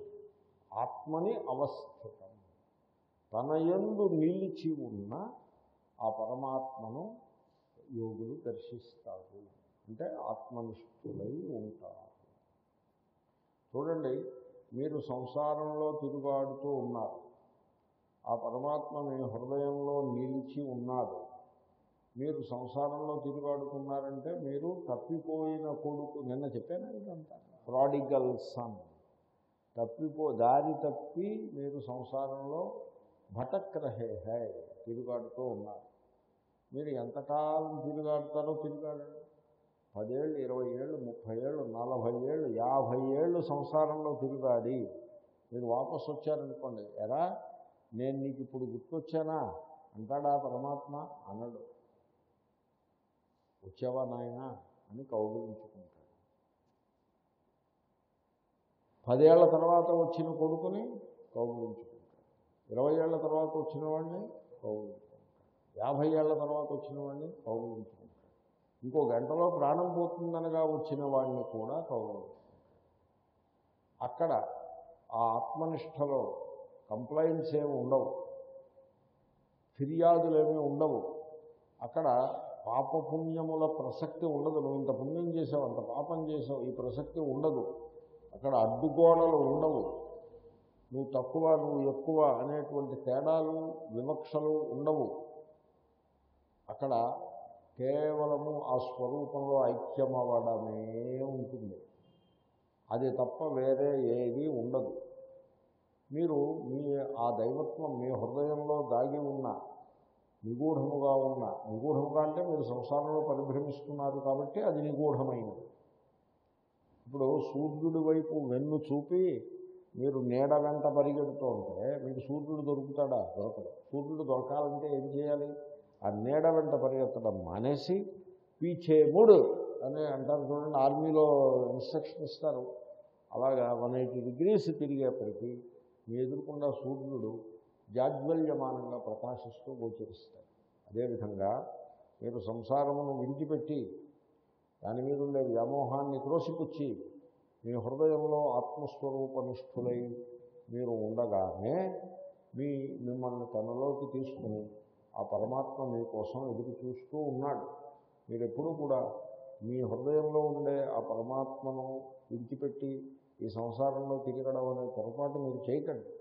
మీరు ఆ సంసారం అంతా కూడా దాంట్లో ఉన్న సంపదలు కామనలు భోగాలు స్వర్గాలు మరొకటి మరొకటి అవన్నీ కూడా మీ స్వంతం అవుతాయన్నప్పుడు కూడా మీరు సంసారం వైపు తిరిగి చూడవద్దు. ఎందుకంటే మీ ఆత్మస్వరూపాన్ని విడిచి మొత్తం సంసారం అంతా కూడా మీకు అధీనమైనా కూడా మీకు లాభము ఉండదు నష్టమే అవుతుంది. ఎందుకంటే మీరు విడిచిపెట్టేసినది సత్యము పట్టుకుంటున్నది మిథ్య. కాబట్టి మీ హృదయంలో ఆ పరమాత్మ ప్రకాశిస్తూ ఉన్నాడు. మీరు ఆ పరమాత్మను చేరుకునే ప్రయత్నం చేయండి. కొంతమంది ఉంటారు మరి మాకు తీర్థయాత్రలు చేయాలి కదండి దేవుణ్ణి చూడాలి కదా. కొన్ని తీర్థయాత్ర ఆత్మతీర్థం పరం తీర్థం. ఇది తీర్థములలోకెల్లా తీర్థము నీ హృదయంలో ఉండగా దానిని గురించి ఎక్కడో ఉన్న తీర్థములను ఇదం తీర్థం ఇదం తీర్థం అంటూ పరిగ భ్రమిస్తావు ఏమిటా నీ తెలివి తక్కువదని అని పెద్దలంటారు. కాబట్టి అలాగే మేము ఈ వ్రతాలు చేయాలి అది చేయాలి అది చేయాలి. మీరు ఎన్ని వ్రతాలు చేయాలో అన్నీ చేయండి. అవన్నీ కూడా మిమ్మల్ని మీ హృదయంలో ఉండే పరమాత్మకు దగ్గరకు చేర్చేవి అయితే వాటికి విలువ. ఒకవేళ పరమా హృదయంలో ఉండే పరమాత్మ వద్దకు అవి తీసుకు వెళ్ళలేకపోతే ఆ వ్రతములు కూడా వ్యర్థమే. దానములు ధర్మములు ఇవన్నీ కూడా మీ హృదయంలో ఉండే పరమాత్మ దగ్గరికి మిమ్మల్ని తీసుకువెళ్ళాలి అప్పుడే వాటికి ప్రయోజనము. లేకపోతే అవన్నీ కూడా ఇతర సంసార విషయముల వలె కొరగానివే అయిపోతాయి. కాబట్టి ఆత్మని అవస్థితం పశ్యంతి. తమ ఎందు నిలిచి ఉన్నటువంటి ఆ పరమాత్మను సాధకులు దర్శిస్తూ ఉంటారు. అది పెద్ద కష్టం కూడా ఏమీ కాదు. మీరేం చేస్తారంటే చక్కగా పెందరాలే లేచి పెందరాలే అంటే మూడున్నరకి లేచి మళ్ళీ కునుకుపాట్లు పడ్డం కాదు. చక్కగా ఐదున్నరకు లేచి స్నానం చేసో చేయకో చక్కగా నిటారుగా కూర్చుని సోఫాలో కూర్చుంటే పని అవ్వదు.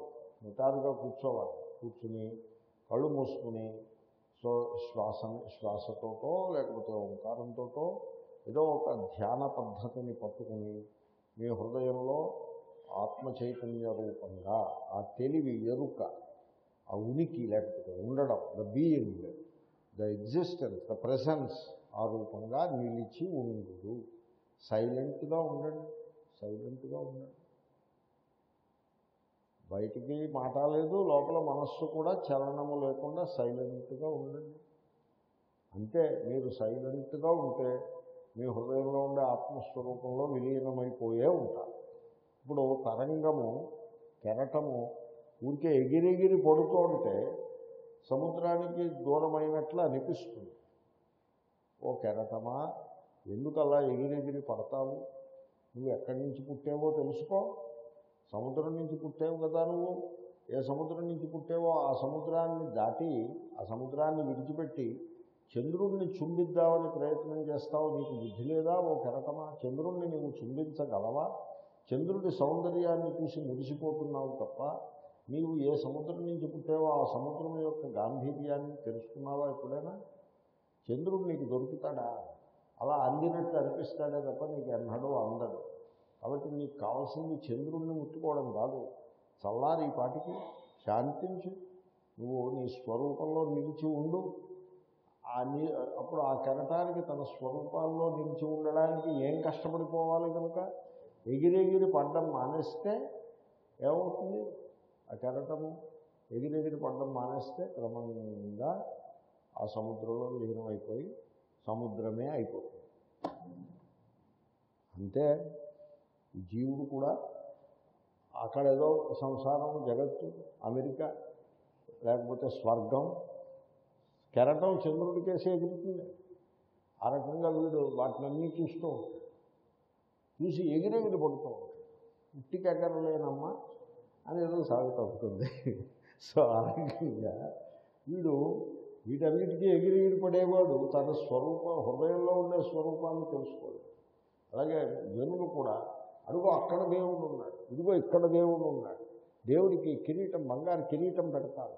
లేకపోతే మెడలో దేవుడికి మెడలో కాసుల పేరు దేవుడికి కాసుల పేరు పెడతాడు అసలు పేరు దేవుడికి ఇవ్వడానికి బంగారం కావాలి కదా? అది ఎక్కడి నుంచి వస్తుంది? దేవుడు ఇచ్చిన బంగారమే కదా? దేవుడిదైనా బంగారం? దేవుడు బంగారం నువ్వెందుకు ఇవ్వడం? ఆయనే తీసుకుంటాడు. నీకు నీకెందుకు పూర్వానికి ఒక ఆయన ఉండేవాడు. ఆయనకి కృష్ణుడికి పువ్వులు సమర్పిస్తూ ఉండేవాడు. కృష్ణుడికి పువ్వులు వేయాలి గట్టిగా. ఎక్కువగా పువ్వులు. ప్రేమ కదా కృష్ణుడు అంటే భక్తి. అది ఏమైందంటే పక్కన ఒక ఉద్యానము కలదు. ప్రైవేట్ గార్డెన్ వాళ్ళ ఇంట్లో చుట్టూ గార్డెన్ పెట్టుకున్నారు. దాని నిండా పువ్వుల మొక్కలు పెంచుకున్నాడు ఆయన. ఆయన తెల్లారేపటికి ఒక్క పువ్వు కూడా కనపడకుండా తుంపేసి ఉండేవి మొక్కలన్నీ గులాబీలు బంతి పువ్వులు అన్నీ కూడా ఒక్క పువ్వు కూడా ఉండేవి రాత్రి చూస్తే బోళ్ళు మొగ్గలు ఉండేవి. తెల్లవేళకి ఒక్క పువ్వు ఉండేవి ఏమిటి దురన్యాయం?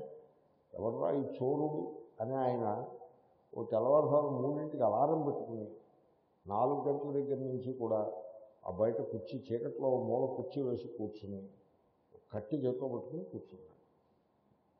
ఈయన మెల్లగా గోడ దూకి ఎవరు ఈ కృష్ణ భక్తుడు? ఆ పువ్వులన్నీ కోయడం ప్రారంభించారు ఈయన వెనకాలని దూరి కర్మతో ఒక్క దెబ్బ వేసి ఎవడరా దొరికావు దొంగవని పట్టుకుంటే ఈయన ఈ నామాలు పంచ పైన భుజం మీద కండువ స్నానం చేసేసి ఉన్నాడు.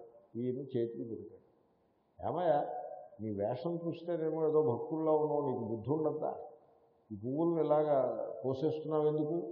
అంటే అన్నాడు వదిలిపెట్టి చెయ్య చెయ్యి వదులు ముందు. నేను పువ్వులు నా స్వంతం కోసం నేను తల్లో పెట్టుకుని కోసం కోస్తున్నాను అనుకుంటున్నావా ఏమి? శ్రీకృష్ణుడికి సమర్పించడం కోస్తున్నాను అందుకోసం కోస్తున్నాను వదిలిపెట్టి చెయ్య అని జబర్దస్తిగా చెప్పాడు. మళ్ళీ కర్రొచ్చి ఇంకొక్క దెబ్బ కొట్టి కృష్ణుడికి సమర్పించడం ఇప్పుడు పువ్వు మొక్కకుంటే అది కృష్ణుడికి సమర్పించబడి లేదా ఏమి? అది పీకేసి తీసుకెళ్ళి కృష్ణుడి విగ్రహానికి వేస్తేనే సమర్పించినట్లా? మొక్కగా ఉంటే అలా వదిలిపెట్టేసి అబ్బా ఎంత బాగుందో ఆ పరమేశ్వరుని విభూతి ఇది అని అనుకుంటే సమర్పించినట్టు కాదా? అని మళ్ళీ కరపుచ్చుకోవచ్చు అది అది కథ. ఎంత అయిపోయింది కథ ఇంకేం? కాబట్టి కనుక హృదయమునందు ఆత్మరూపంగా ప్రకాశిస్తున్నటువంటి పరమాత్మను విస్మరించి లేదా నెగ్లెక్ట్ చేసి నెగ్లెక్ట్ చేయడం అంటే పట్టించుకోవడం మానేసి ఇక్కడ ఉన్నాడు అక్కడ ఉన్నాడని గెంతులు వేసి హడావిడి చేస్తే ఏమైనట్టు?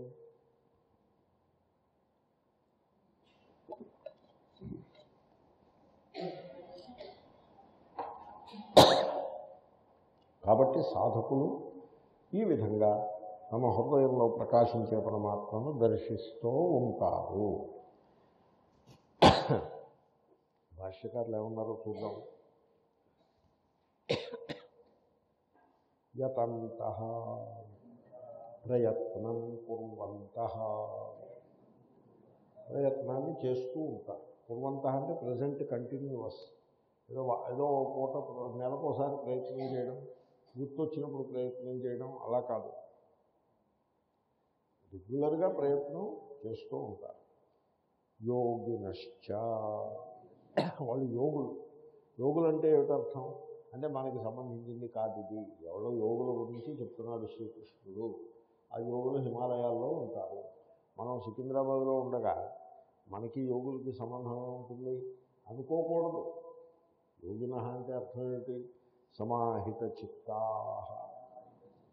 స్థిరమైన చిత్తము కలవారు ఏకాగ్రమైన చిత్తము కలవారు అంతే సమాహిత చిత్త అంతే అంతకంటే ఇంక వేరే ఏమీ కాదు. మీ మనస్సు మీరు చూసుకోండి ఎలా ఉంది?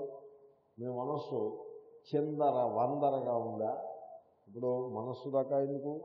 ఇప్పుడు సపోజ్ గదిలో ఒకడు గదిలో మకా ఉన్నాడు నివాసం చేస్తున్నాడు. ఆ గదిలో అడుగు పెడుతూనే కాలు ఒక కాలు తీసి ఇంకో చోట పెట్టే చోటు లేకుండా కాగితాలు పుస్తకాలు నిన్న రాత్రి తిండి తినేసి ఆ గిన్నెలు ఎండిపోయి చెంచాలు ప్లేట్లు సగం సగం తిన్నటువంటి పదార్థాలు కుళ్ళిపోయిన పళ్ళు ఇంకా చొక్కాలు ఉతికినవి ఉతకనవి. అన్నీ ఎలా పడితే అలాగా ఆ మంచం మీద మంచం కింద ఎక్కడ పడితే అక్కడ చిందర వందరగా పడు. ఓ కాలు లోపల పెట్టాడు ఇంకో కాలు వేద్దామంటే చూడట్లేదు. మీకు నచ్చుతుందా అలా ఉంటే? పూర్వం మాకు మిత్రుడు ఉండేవాడు. నేను అలా ఉండేవాడు. సిగరెట్లు కాల్చేవాడు. సిగరెట్లు కాల్చేవాడు ఓ యాస్ట్రో ఏదో ఏడవాలి కదా. మొత్తం చుట్టూ అన్నీ ఈ సిగరెట్ పీకలే ఉండేవి. ఇది చూసి తట్టుకోలేక ఒక మిత్రుడు ఏం చేసేదంటే వీడిని గదిలోంచి బయటికి తోసేసి చీపుడు పుచ్చుకుని తూడికి అంతా శుభ్రం చేసి వచ్చి ఇప్పుడైనా శుభ్రంగా పెట్టుకోరా? ఈ పైన శుభ్రం పెట్టుకో అలా పెట్టుకోకరా గది అని చెప్పాడు. అతను అలాగే పెట్టుకునేవాడు ఆ గది. సో అతను ఆ తర్వాతి కాలంలో నాకు ఒకసారి కలిశాడు పది పదిహేను ఏళ్ళ తర్వాత. నేను నేను సిగరెట్ తాగుతాం మానేశాను. మానేయడమే. ఇదేదో పెద్ద పెద్ద విప్లవమే వచ్చింది అతని జీవితంలో నేను అనుకున్నా. గది ఎలా పెట్టుకుంటున్నాను శుభ్రంగా పెట్టుకుంటున్నాను చొక్కాలు ప్యాంట్లు మిగతా తువ్వాళ్ళు ఎక్కడ పెడుతున్నావు అని అడిగా. ఇలా ఒక చిన్న వైర్ ఒకటి కట్టాను దాని మీద చక్కగా పెట్టుకుంటున్నాను. నేల మీద ఏముంటా ఏముండదు చాలా బుద్ధిమంతుడు అయిపోయాడు. అనుకున్నాను అంటే అదే మార్పు మనస్సులో రావాలి. బయట వచ్చి మార్పే మనస్సులో రావాలి. మీ మనస్సు ఒకసారి చూసుకోండి మీరు. ఒక లాగ్ లాగ్ అంట. You log your mind for one hour అది మీకు గుర్తొస్తుంది కదా ఇవాళ మధ్యాహ్నం మూడు గంటల నుంచి నాలుగు గంటల వరకు ఒక లాగ్ కూర్చుని రాయండి. రాయమండి అంటే ఓ లాగ్ రాశాం. మూడు గంటల నుంచి నాలుగు గంటల వరకు. మూడు గంటలకి ఎవడో హోటల్ వాడికి ఫోన్ చేసి పిజ్జా పట్టుకోమన్నాను ఆ మూడు బాబు ఆలస్యం చేస్తే వీడు ఎందుకు ఆలస్యం చేస్తున్నావు అని తిట్టుకున్నాను వాడిని. ఆ తీసుకొచ్చిన తర్వాత ఆ పిజ్జా అంతా తినేశాను. చాయ్ పెట్టుకుని తాగాను. చాయ్ పెట్టుకుని తాగే టైంలో ఈ పిజ్జా వాడు అవసరం ఎక్కువ డబ్బులు తీసుకున్నాను మళ్ళీ ఇంకోసారి వాడిని తిట్టుకున్నాను. తర్వాత వాడు వాడు ఎవడో గుర్తుకొచ్చాడు వాడు ఇవ్వాల్సిన డబ్బు ఇవ్వలేదు వాడిని తిట్టుకున్నాను. తర్వాత ఈ లోపల ఫోన్ వచ్చింది ఫోన్ మీద వాడిని చెడాబడా తిట్టాను. మొత్తం నాలుగు వైపులు ఇది లాగ్. ఇది లాగ్. మీ మనస్సు ఎలా ఉంది? అంతకుముందు ఆ గది నేను చెప్పాను అలా లేదది? అలా ఉండకూడదు మనస్సు. మనస్సు ఎలా ఉండాలి? మూడు నుంచి నాలుగు. మూడు మూడింటికి ఏముంది మనస్సులో? ఏమున్నట్టు లేదు. ఏదో పుస్తకం ఏదో కాళిదాసు రచించినటువంటి శ్లోకాలు ఏమో కొన్ని చదివాను. ఆ తర్వాత మూడున్నరకి ఒక కప్పు ఛాయ్ తాగాలనిపించింది. ఆ ఛాయ్లో కొద్దిగా పాలు వేసుకుని ఒక కప్పు టీ తయారు చేసుకుని తాగారు ఆ తర్వాత ఓసారి వివేకానంద స్వామి రచించినటువంటి ఒక వ్యాసాన్ని ఒకదాన్ని చదివాను. ఇంతలో నాలుగు అయింది. అది లాగు. ఇది ఎలా ఉంది లాగు? అదే మనస్సు శుచిగా ఉండొద్దండి. శుభ్రంగా ఉండద్దు మనస్సు. అంటే మీరు చేయాల్సింది ఇంతే. ఈ మార్పుని ఈ మనస్సుని ఆ మనస్సు కింద చేసుకుంటే సరిపడుతుంది. కలుషితమైన మనస్సుకి శుద్ధమైన మనస్సుకి తేడా ఎలా ఉంటుందో చెప్పుకుంటారా మీరు వన్ అవర్ లాగ్ రాయడం ప్రారంభిస్తే కలుషితమైన మనస్సులో గంటకి ట్వంటీ థర్టీ ఎంట్రీస్ వస్తాయి మీకు. గుర్తున్నవి. గుర్తులేనివి ఎన్ని ఉంటాయి? ఇరవై ముప్పై ఎంట్రీస్ వస్తాయి. మీరు ఆనెస్ట్గా చేయాలి ఈ పని. Do it honestly for yourself స్వచ్ఛమైన మనస్సు గలవాడికి ఎన్ని ఎంట్రీస్ వస్తాయో చూసినా? మూడు నాలుగు ఎంట్రీస్ వస్తాయి అంతే. ఏం పెద్ద ఆలోచనలు ఏముండవు ఏముంటాయి ఆలోచనలు? మనకి ఆసక్తి లేదు ఎవరి మీద. వీళ్ళు నా దగ్గర ఉంటేనే నాకు సుఖం అనేటువంటి ఆసక్తి లేదు ద్వేషం లేదు. రాగం లేదు ద్వేషం లేదు. అక్కడికే మనస్సు శుద్ధి అయిపోతుంది చీపురు పెట్టి తుంచినట్టు అయిపోతుంది అప్పటికే మనస్సు. ఫలానా సుఖాలు కావాలనే కోరికలు లేవు. దుఃఖం వస్తుందేమో అనే భయాలు లేవు. తర్వాత అంధవిశ్వాసాలు సూపర్ స్టిషన్స్ ఏమీ లేవు. సూపర్ స్టిషన్స్ అనేవి లేవు. నన్ను హృషికేశ్లో నేను మొన్ననే ఒక పది రోజులు హృషికేశ్లో వచ్చాను హృషికేశ్లో ఒక వ్యక్తి అడిగారు బ్లాక్ మ్యాజిక్ మీద మీ అభిప్రాయం ఏంటి? చూడండి మీరు ఇలాంటి తప్పు మాటలు మళ్ళీ మాట్లాడదు ఎందుకంటే హృషికేశ్లో ఉన్నాం. ఆశ్రమంలో వేదాంత విద్యకు కట్టుబడిన ఆశ్రమంలో ఉన్నాం. ఇక్కడ వివేక చూడాలని సాక్షి శంకర భగవత్పాదుల యొక్క వివేక చూడాలని అధ్యయనం చేస్తూ ఉన్నాం. ఈ పరిస్థితిలో మీరు బ్లాక్ మ్యాజిక్ గురించి మాట్లాడుతున్నారంటే మీరు మీకు ఈ- వేదాంతం మీకు ఏమీ వంట పట్టలేదని తెలుసుకోండి తర్వాత మీరు సైన్స్ చదివా చదివారు. మీరు ఏం సైన్స్ చదివారో నాకు తెలియదు కానీ మీకు సైంటిఫిక్ టెంపర్ కూడా లేదని తెలుస్తూ ఉన్నది. అని నేను మొట్టికాయ వేయడం మినహాయించి గట్టిగా కూకలేసాను ఆ మనుషులు చూడండి black magic what nonsense it is అప్పుడు చెప్పారు there is nothing like black magic there is no black magic except మీ మైండే బ్లాక్ మ్యాజిక్ అంతే బ్లాక్ లేదు మ్యాజిక్ లేదు ఇలాగంటే సూపర్ స్టిషన్స్ పెట్టుకోకూడదు. వాడెవడో నాకు బ్లాక్ మ్యాజిక్ చేశాడు. అంచేతనే నాకు దుఃఖం అలా వచ్చేస్తుంది. వాడు బ్లాక్ మ్యాజిక్ చేయడం మూలంగా రాలేదు. నీ మనస్సులో అజ్ఞానం బాగా గడ్డకట్టిన మూలంగా వచ్చింది దుఃఖం. బ్లాక్ మ్యాజిక్ చేస్తే వస్తుందా? కాబట్టి సూపర్ స్టిషన్స్ ఉండరాదు మనస్సు. సూపర్ స్టిషన్స్ కనుక ఉన్నట్లయితే ఆ మనస్సు చాలా చిందర వందరగా తయారవుతుంది. కాబట్టి ఇవన్నీ మీరు చూసుకోవాలి. కామనలు సంతోషం ఉండాలి. కామనలు ఉండకూడదు. అభయం మనం ఈశ్వరుణ్ణి శరణాగతి చేసి ఉన్నాం. మనకేమిటి? భయం అనేది అసలు లేనే లేదు. అనేటువంటి ఆ ఆత్మవిశ్వాసం ఉండాలి. భయం అనేది ఉండదు ఉండరాదు. ఈ రకంగా కొన్ని బేసిక్ థింగ్స్ కనుక మీరు శ్రద్ధ వహించినట్లయితే నిండైన వైరాగ్యం రాగద్వేషం ఎవరి మీద ద్వేషం ఉండకూడదు. మన తిట్టిన వాళ్ళని కూడా ఆశీర్వదించే పద్ధతి ఉండాలి. ఈ రకంగా మీరు మనస్సును తయారు చేయండి. తయారు ఇక్కడ వస్తోంది ఆ మాట. నేను యాంటిసిపేట్ చేసి చెప్పేశాను. మీరు మనస్సుని ఈ విధంగా నిర్మాణం చే మనస్సును నిర్మాణం చేయడము ఉంటారు మీరు ఇల్లు కట్టాం లోగిళ్ళు కట్టాం హాల్స్ కట్టాం ఏదో కట్టడానికి ప్రయత్నం చేస్తున్నారు తప్ప మీ మనస్సును నిర్మాణం చేసే ప్రయత్నం మీరు ఎప్పుడైనా చేశారా? చేయండి. చేస్తే ఆ విధంగా తయారై తర్ఫీదు ఇవ్వబడిన మనస్సు మోస్ట్లీ శాంతముగా ఉంటుంది. అటువంటి సమాహితమైన స్థిరమైన ఏకాగ్రమ అంటే ఏదైనా అవసరమైనప్పుడు మనస్సు పనిచేస్తుంది అవసరం లేనప్పుడు విశ్రాంతిగా ఉంటుంది. అటువంటి శాంతముగా ఉంటుంది. అటువంటి మనస్సు గల వారు యోగులు అనబడుదురు. అది యోగిన సమాహిత చిత్తా. ఏనం ప్రకృతం ఆత్మానం పశ్యంతి. ఇప్పుడు కూడా ఏతం ఏనం అనే రెండు శబ్దాలకి తేడా ఉంది ఏతం అంటే మొదటిసారి దేన్నైనా ఇదిగో అని చెప్పేప్పుడు ఏతం అనే పదాన్ని వాడతారు. చెప్పిన దాన్ని చెప్పేప్పుడు ఏనం తా బదులు నా వస్తుంది. సంస్కృతంలో అదొక నిర్ణయం. అన్వాదేశము అంటారు పాణిని పెట్టిన పేరు అన్వాదేశము. కాబట్టి ఏనం అనగానే శంకరులు ప్రకృతం అంటే మనం చర్చిస్తున్న ఇది. మనం దేని గురించి చర్చిస్తున్నాము? ఆత్మను. ఈ ఆత్మను గురించి చర్చిస్తున్నాము. కాబట్టి ఆత్మను పశ్యంతి. చూస్తున్నారు. యోగులు చూస్తున్నారు. చూడడం అంటే తెలుసుకోవడము. అండ్ మీకు నేను చాలా సరళంగా చెప్తున్నా మీరు ఆలోచించండి. మీకు మీ దేహాన్ని నువ్వు చూడు అని ఎవరైనా చెప్పాలా? మీరు చూస్తూనే ఉన్నారుగా. దేహాన్ని ఆరోగ్యంగా పెట్టుకోవయా అని చెప్పాలే తప్ప దేహాన్ని చూడు ఇదిగో నీకు దేహం ఉన్నది తెలుసుకో ఏమిటి తెలుసుకోవడం? తెలుస్తూనే ఉంది ఎప్పుడు నీకు మనస్సు ఉన్నది మనస్సులో ఆలోచనలు వస్తున్నాయి చూసుకో. ఏమి చూడక ఎవరు చూస్తూనే ఉంటాయి మరి బోధ ఏమిటో తెలిసిన ఓరి మానవుడా నువ్వు అజ్ఞానివిగా దేహము మనస్సు తప్ప ఇంకేమీ లేదనేటువంటి భ్రమలో ఉన్నావమ్మా.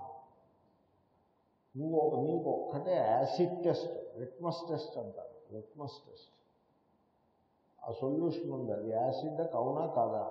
లిట్మస్ పేపర్ ఇస్తాం ఎల్లోగా ఉంటుంది లిట్మస్ పేపర్. దాంట్లో పెట్టి దాంట్లో పెట్టేయంటే దాంట్లో స్నానం చేసి ఎక్కల్లా అభిషేకం చేయక్కల్లా ఉంటే టచ్ చేస్తే చాలు. దానికి టచ్ చేస్తూ ఎర్రగా అయిపోతుంది యాసిడ్. అదేవిధంగా చూడు దేహము మనస్సు తెలుస్తున్నాయా మీకు ఆ తెలుస్తున్నాయండి బాబు అవి తెలియకపోవడం ఎవరికి తెలుస్తున్నాయి? ఎవరికి తెలుస్తున్నాయి? నాకు. నాకంటే? నాకంటే? నా పేరు సుబ్బన్న అండి మా నాన్నగారు పెట్టారు. ఓ మీ సుబ్బన్న కూడా అది కాదురా బాబు నేను ఎవరు? ఆ దేహము మనస్సు తెలుస్తున్నది ఎవరికి? ఎవరికి? దేహము మనస్సుకి తెలుస్తున్నది ఎవరికి?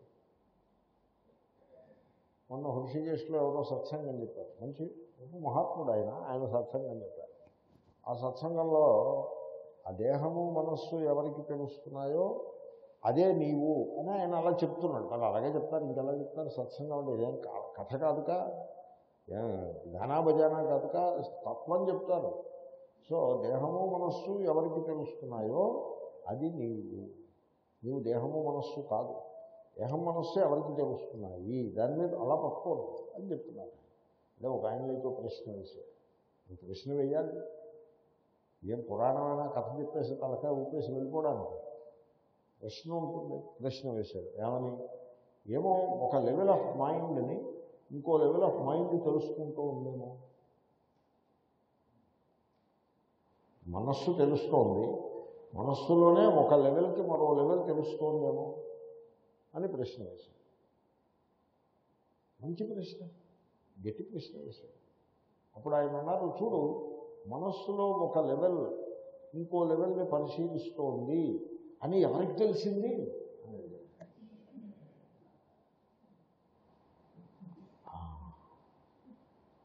నాకు తెలిసింది. అది తెలుసుకో. ఉండొచ్చు అలాగా మనస్సులో ఒక లెవెల్ ఇంకో లెవెల్ని పరిశీలించడం అనేది ఉంటుంది. అది కూడా మీకు తెలుస్తూ ఉంటుంది. ఇప్పుడు ఉదాహరణకి మీకు తక్కువ మన ఆలోచన వచ్చిందనుకోండి వాడు దుష్టుడు వాడు వాడు దుర్మార్గుడు అనే ఆలోచన వచ్చిందనుకోండి వెంటనే పొద్దున్నే ఇదెందుకు అని ఇంకో ఆలోచన వచ్చిందనుకోండి. ఇప్పుడు మనస్సుని ఎవళ్ళు కరెక్ట్ చేశారు? ఒక ఆలోచనని ఇంకో ఆలోచన కరెక్ట్ చేసింది దిద్దింది. పొద్దున్నే ఈ ఆలోచన వద్దు అని దిద్దుబాటు. కాబట్టి మనస్సుని మనస్సే దిద్దింది. కానీ ఆ సంగతి ఎవరికి తెలిసింది? మీకు తెలిసింది. మనస్సుని మనస్సే దిద్దుబాటు చేసుకున్నది అనే సంగతి మీకు తెలిసిందా? అంటే పక్కింటి వాళ్ళు వచ్చి చెప్పాలా మీకు మీకు తెలుసు. చాలా మంచి ఆన్సర్. చాలా బాగా చెప్పారు. ఇంక తిరుగులేని ఆన్సర్ అన్నమాట. కాబట్టి చూసుకో. కాబట్టి నీకు మనస్సు ఉంది నీ మనసులో ఆలోచనలు వస్తూ ఉంటాయి. నీ ఆలోచనలు ఏమొచ్చాయో నేను చెప్పేస్తాను నీకు. నీకు నేను నీకేమో ఇప్పుడు ఈ క్షణంలో నీకు నీ ప్రియురాలు గుర్తుకొచ్చింది. ఏదో ఏదో వేయడం. ఏదో- రాయి వేయడం. అవును. నీకు గురువు గారి దగ్గరికి వచ్చాం కదా. గురువు గారు గొప్పవారు అవునా కాదా అని నీకు ఆలోచన వచ్చింది. అమ్మో ఆయనకి ఎలా తెలిసిపోయిందో. అదే. That is not the point అప్ప. మనస్సుని తెలుసుకోవడంలో ఏమేమి మనస్సు మీకు తెలుస్తూనే ఉంటుంది. మీ మీ మనస్సులో ఏముందో నేను చెప్పాను అనుకోండి. ఏమవుతుంది?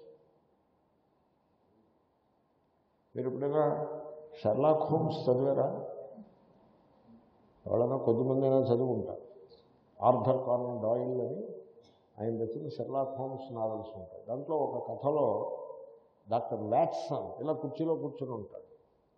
కూర్చుని ఆలోచిస్తూ ఉంటాడు. తక్కువని షర్లాక్ హోమ్ ఆ పక్కన పడక కూర్చుని కూర్చుని అంటాడు అవును వివేకానంద స్వామి అమెరికా వెళ్ళి భారతదేశ ప్రతిష్టను ఇనుమడింపజేశాడు అంటాడు. అన్నప్పటికీ వ్యాట్సన్ ఉలిక్కిపడి అరే నేను వివేకానంద స్వామి గురించి ఆలోచిస్తున్నాను నీకు ఎలా తెలిసింది? అని అడుగుతాడు. అడిగితే ఆ ఏముందిలే నువ్వు కుర్చీలో కూర్చుని అలా ఏకాగ్రంగా ఎక్కడికి చూస్తున్నావా అని పరిశీలిస్తే వివేకానంద స్వామి ఫోటో కనపడింది నాకు.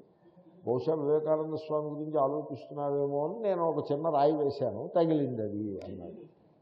షెర్లాక్ హోమ్స్ అక్కడ కథ అలా ఉంది. వివేకానందుడు కాదు అక్కడ. అక్కడ ఇంకొకటి. అర్థమైందా మీకు? కాబట్టి దీనికోసం వీడు పెద్ద అధ్యాత్మవేత్త అయిపోనక్కర్లా. ఎదరవాడి మనసులో ఏముందో తెలుసుకోవడానికి పెద్ద అధ్యాత్మవేత్త అయిపోనక్కర్లా.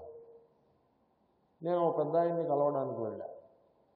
వారు మహాత్ములు వారిని దర్శించండి అని ఎవరో సలహా ఇస్తే కలవడానికి వెళ్ళా. వెళ్ళి అయ్యా మీ దర్శనం చేసి నా వినయాన్ని మీ ముందు ప్రకటించడానికి కోసం వచ్చాను. నా పండు ఆయన ముందు పెట్టాను ఆయన నాకేసి చూసి చాలా సంతోషం. Welcome. I'm happy that you have come. I will tell you I will look at your face. And I will tell you your date of birth అన్నారు. నేనన్నాను నా డేట్ ఆఫ్ బర్త్ నాకే నాకు నాకు నాకు నా సంబంధం లేకపోతే ఇమిగ్రేషను అప్లికేషన్ ఫారం దానికి సంబంధించింది మీకెందుకండి అది? అది మీరు చెప్పడం అనవసరం వాళ్ళు చెప్పినా దాన్ని బట్టి తెలియదేమీ లేదు. నువ్వు పుట్టలేదు ఆ విషయం నీకు తెలుసునా అని మీరు అడిగితే నేను సంతోషించి ఉండేవాడిని అని మనస్సులో అనుకున్నాను. అనుకుని చెప్పండి అనలేదు నేను ఊరికే ఆయన కళ్ళలో చూశాను ఆయనే చెప్పాడు. మౌనం అర్ధాంగీకారం అనుకున్నారో ఏమో చెప్పారు. చెప్పి ఎలా చెప్పారన్నారు? ఆ తర్వాత ఏదో ఈ ప్రసక్తి ఆ ప్రసక్తి అయిన తర్వాత బయటకు వచ్చాను నన్ను ఎవరో అడిగాడు మీ డేట్ ఆఫ్ బర్త్ చెప్పాడా చెప్పాడు. కరెక్ట్గా చెప్పాడు కదా అంటే లేదు తప్పు చెప్పాడు. లేదు ఆయన తప్పు చెప్పారు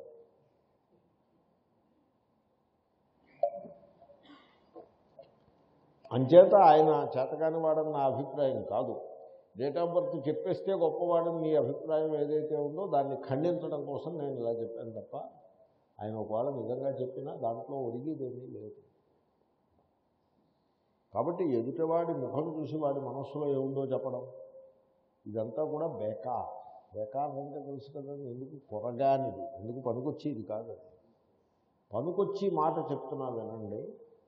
చూడయా ఆ మనస్సుని తెలుసుకునేది ఎవరు? నేను ఆ- నేనంటే ఏమిటి? నేనంటే ఏమిటి? దానికి కమ్యూనికేషన్ కోసం మనం ఒక పేరు పెట్టుకున్నాం. ఆ పేరే ఆత్మ. అది ఆత్మ. కాబట్టి ఆత్మ అనేది అంత ప్రాక్టికల్ ఇట్ ఈస్. దాన్ని ఏదో ఒక ఒక ఉటోపియన్ తత్వము. ఉటోపియన్ తత్వం అంటే ఒక ఊహాజనితమైనటువంటి ఒక తత్వముగా భావన చేసి అక్కడ ఎక్కడో పెట్టి ఒక దండం పెట్టి మన పని మనం చూసుకోవడం అలా కాదు. Not like that you are the atma. అది మీరు రికగ్నైజ్ చేయాలి. లేకపోతే మీరు రికగ్నైజ్ చేయలేదనుకోండి. ఏమవుతుందో తెలిసిన? మీరు దేహము మనస్సు వీటికి కట్టుబడిపోయి ఉంటారు. ఈ రెండింటికి కట్టుబడిపోయి ఉంటారు. కట్టుబడిపోయి ఉంటే ఏమవుతుందో తెలుసిన? దేహము రోజు తర్వాత రోజుకి అలా శిథిలమవుతూ ఉంటుంది.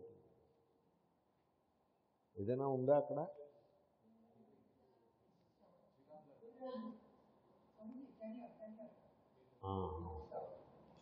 ఓకే.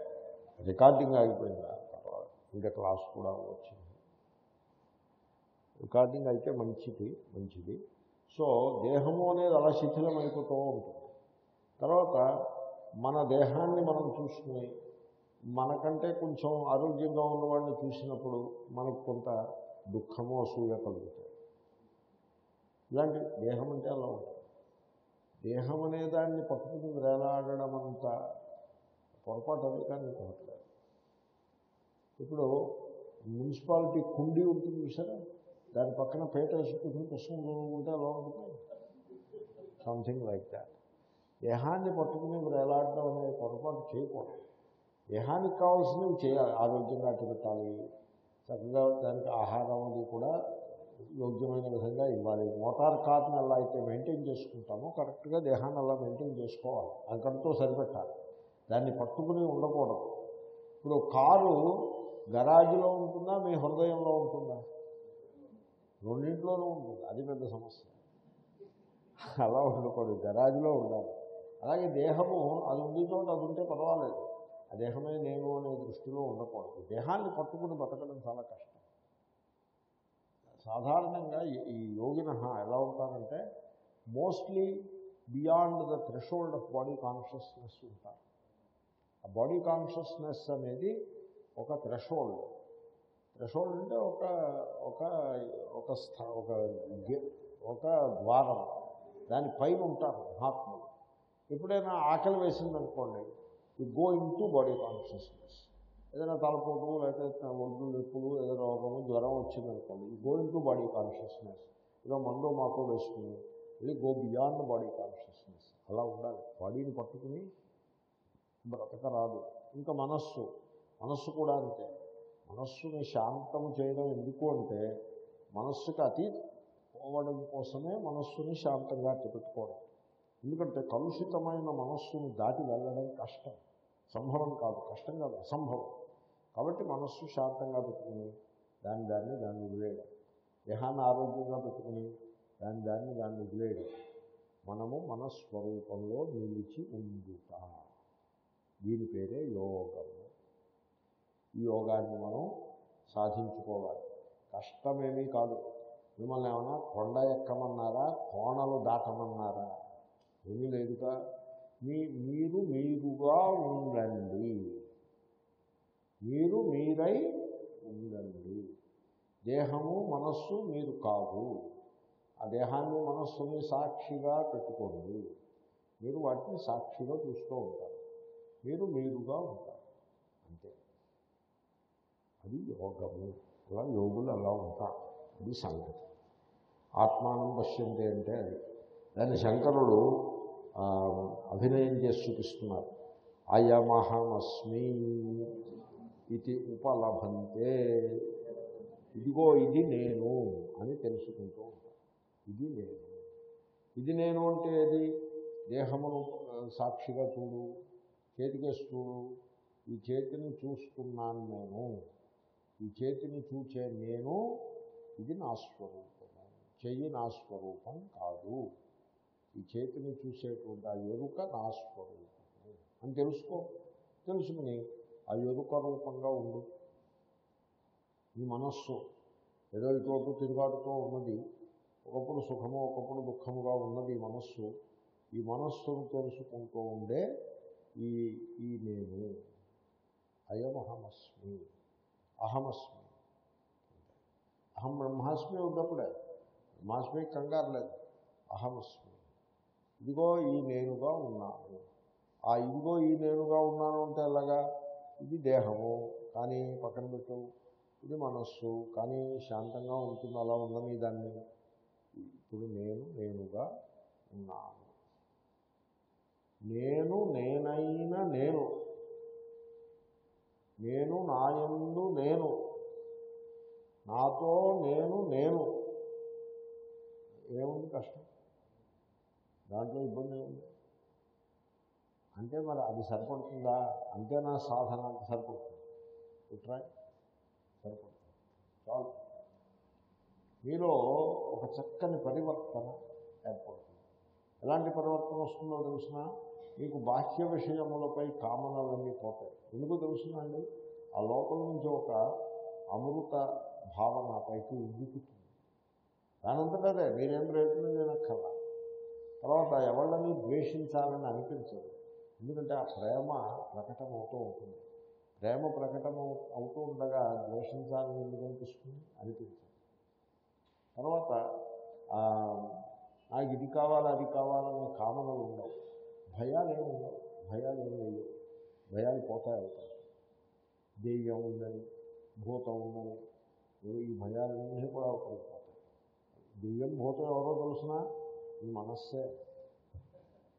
మీ మనస్సే అన్నిటికంటే పెద్ద దెయ్యం. దెయ్యాలన్నీ కూడా భయపడి పారిపోయి అంతటి పెద్ద దెయ్యం ఎవరు? మీ మనస్సే. అదే దెయ్యం. ఇంకా వేరే దెయ్యం ఏముంటుంది కాబట్టి ఆ నేనులో నిలిచి ఉంటే పరివర్తన వచ్చేస్తుంది. ప్రేమభావం ఉంటుంది. ఎవరిని చూసినా ప్రేమే కలుగుతుంది. ఎవరిని చూసినా? సో తర్వాత భయం అనేది ఉండదు. దేనికి భయం ఉండదు? ఆయన ఏదో వస్తూ ఉంటాయి పోతూ ఉంటాయి దీంట్లో భయపడాల్సిందే ఉంది. అలాగా. అటువంటి పరివర్తన మీకు ఆ ఆత్మనిష్ట నుంచి వస్తుంది. అయమహమస్మి ఇది ఉపలభమ ఉపలభంతే. ఆత్మని స్వస్యాం బుద్ధౌ అవస్థితం. ఇప్పుడు ఈ ఆత్మతత్వం ఎక్కడ ఉన్నది? ఆత్మని అవస్థితం. ఆత్మ ఆత్మయందు ఉన్నది అంటే ఆత్మ ఆత్మయందు ఉన్నది అంటే మొదటి ఆత్మ ఆ చైతన్యం. రెండవ ఆత్మ బుద్ధి. మనస్సు మనస్సునందు ప్రకాశ ప్రకాశిస్తూ ఉన్నది. ఇప్పుడు ఘటపటాదులు గదిలో ఉన్న ఘటపటాదులన్నీ ప్రకాశిస్తున్నాయి. ప్రకాశిస్తున్నాయంటే తెలుస్తున్నాయి. ఎందువల్ల? ఆ అద్దంలోంచి కాంతి వచ్చి వాటన్నిటిని ప్రకాశింపజేస్తుంది. మరి అద్దంలోకి కాంతి ఎక్కడి నుంచి వచ్చింది? సూర్యుడి నుంచి వచ్చింది. కాబట్టి ఇప్పుడు సూర్యుడు ఎక్కడున్నాడు?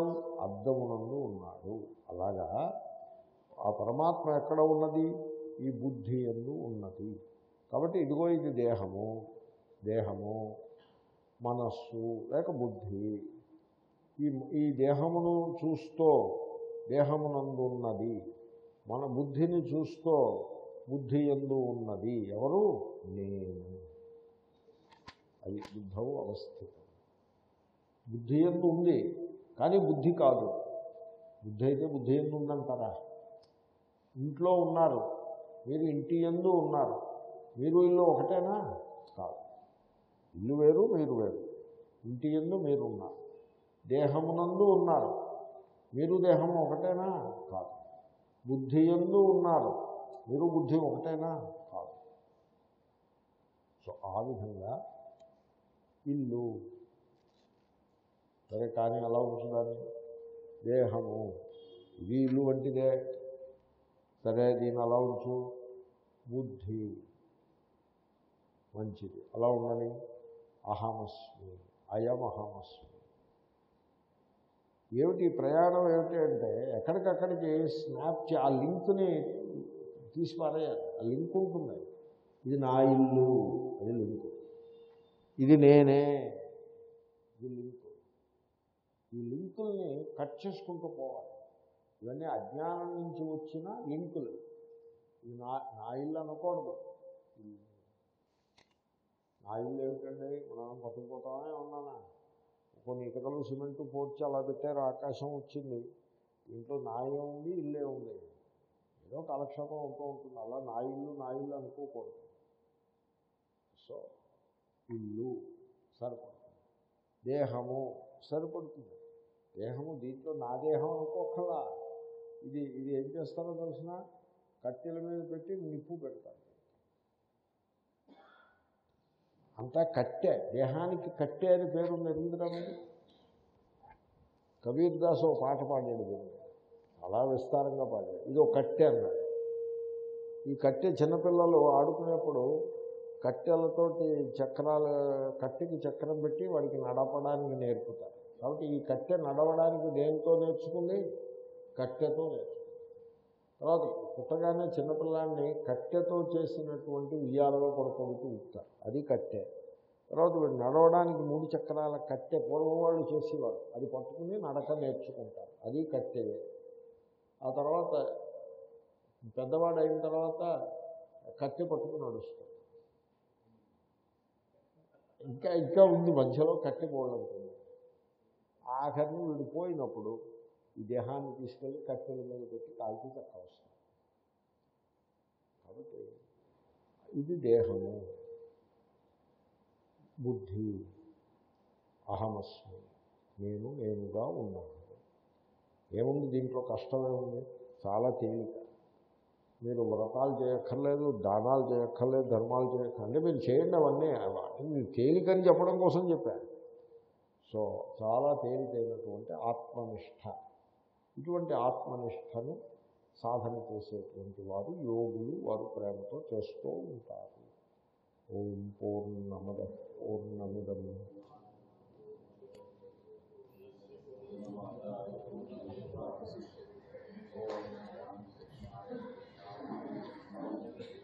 ఓం త్ర్యంబకం యజామహే సుగ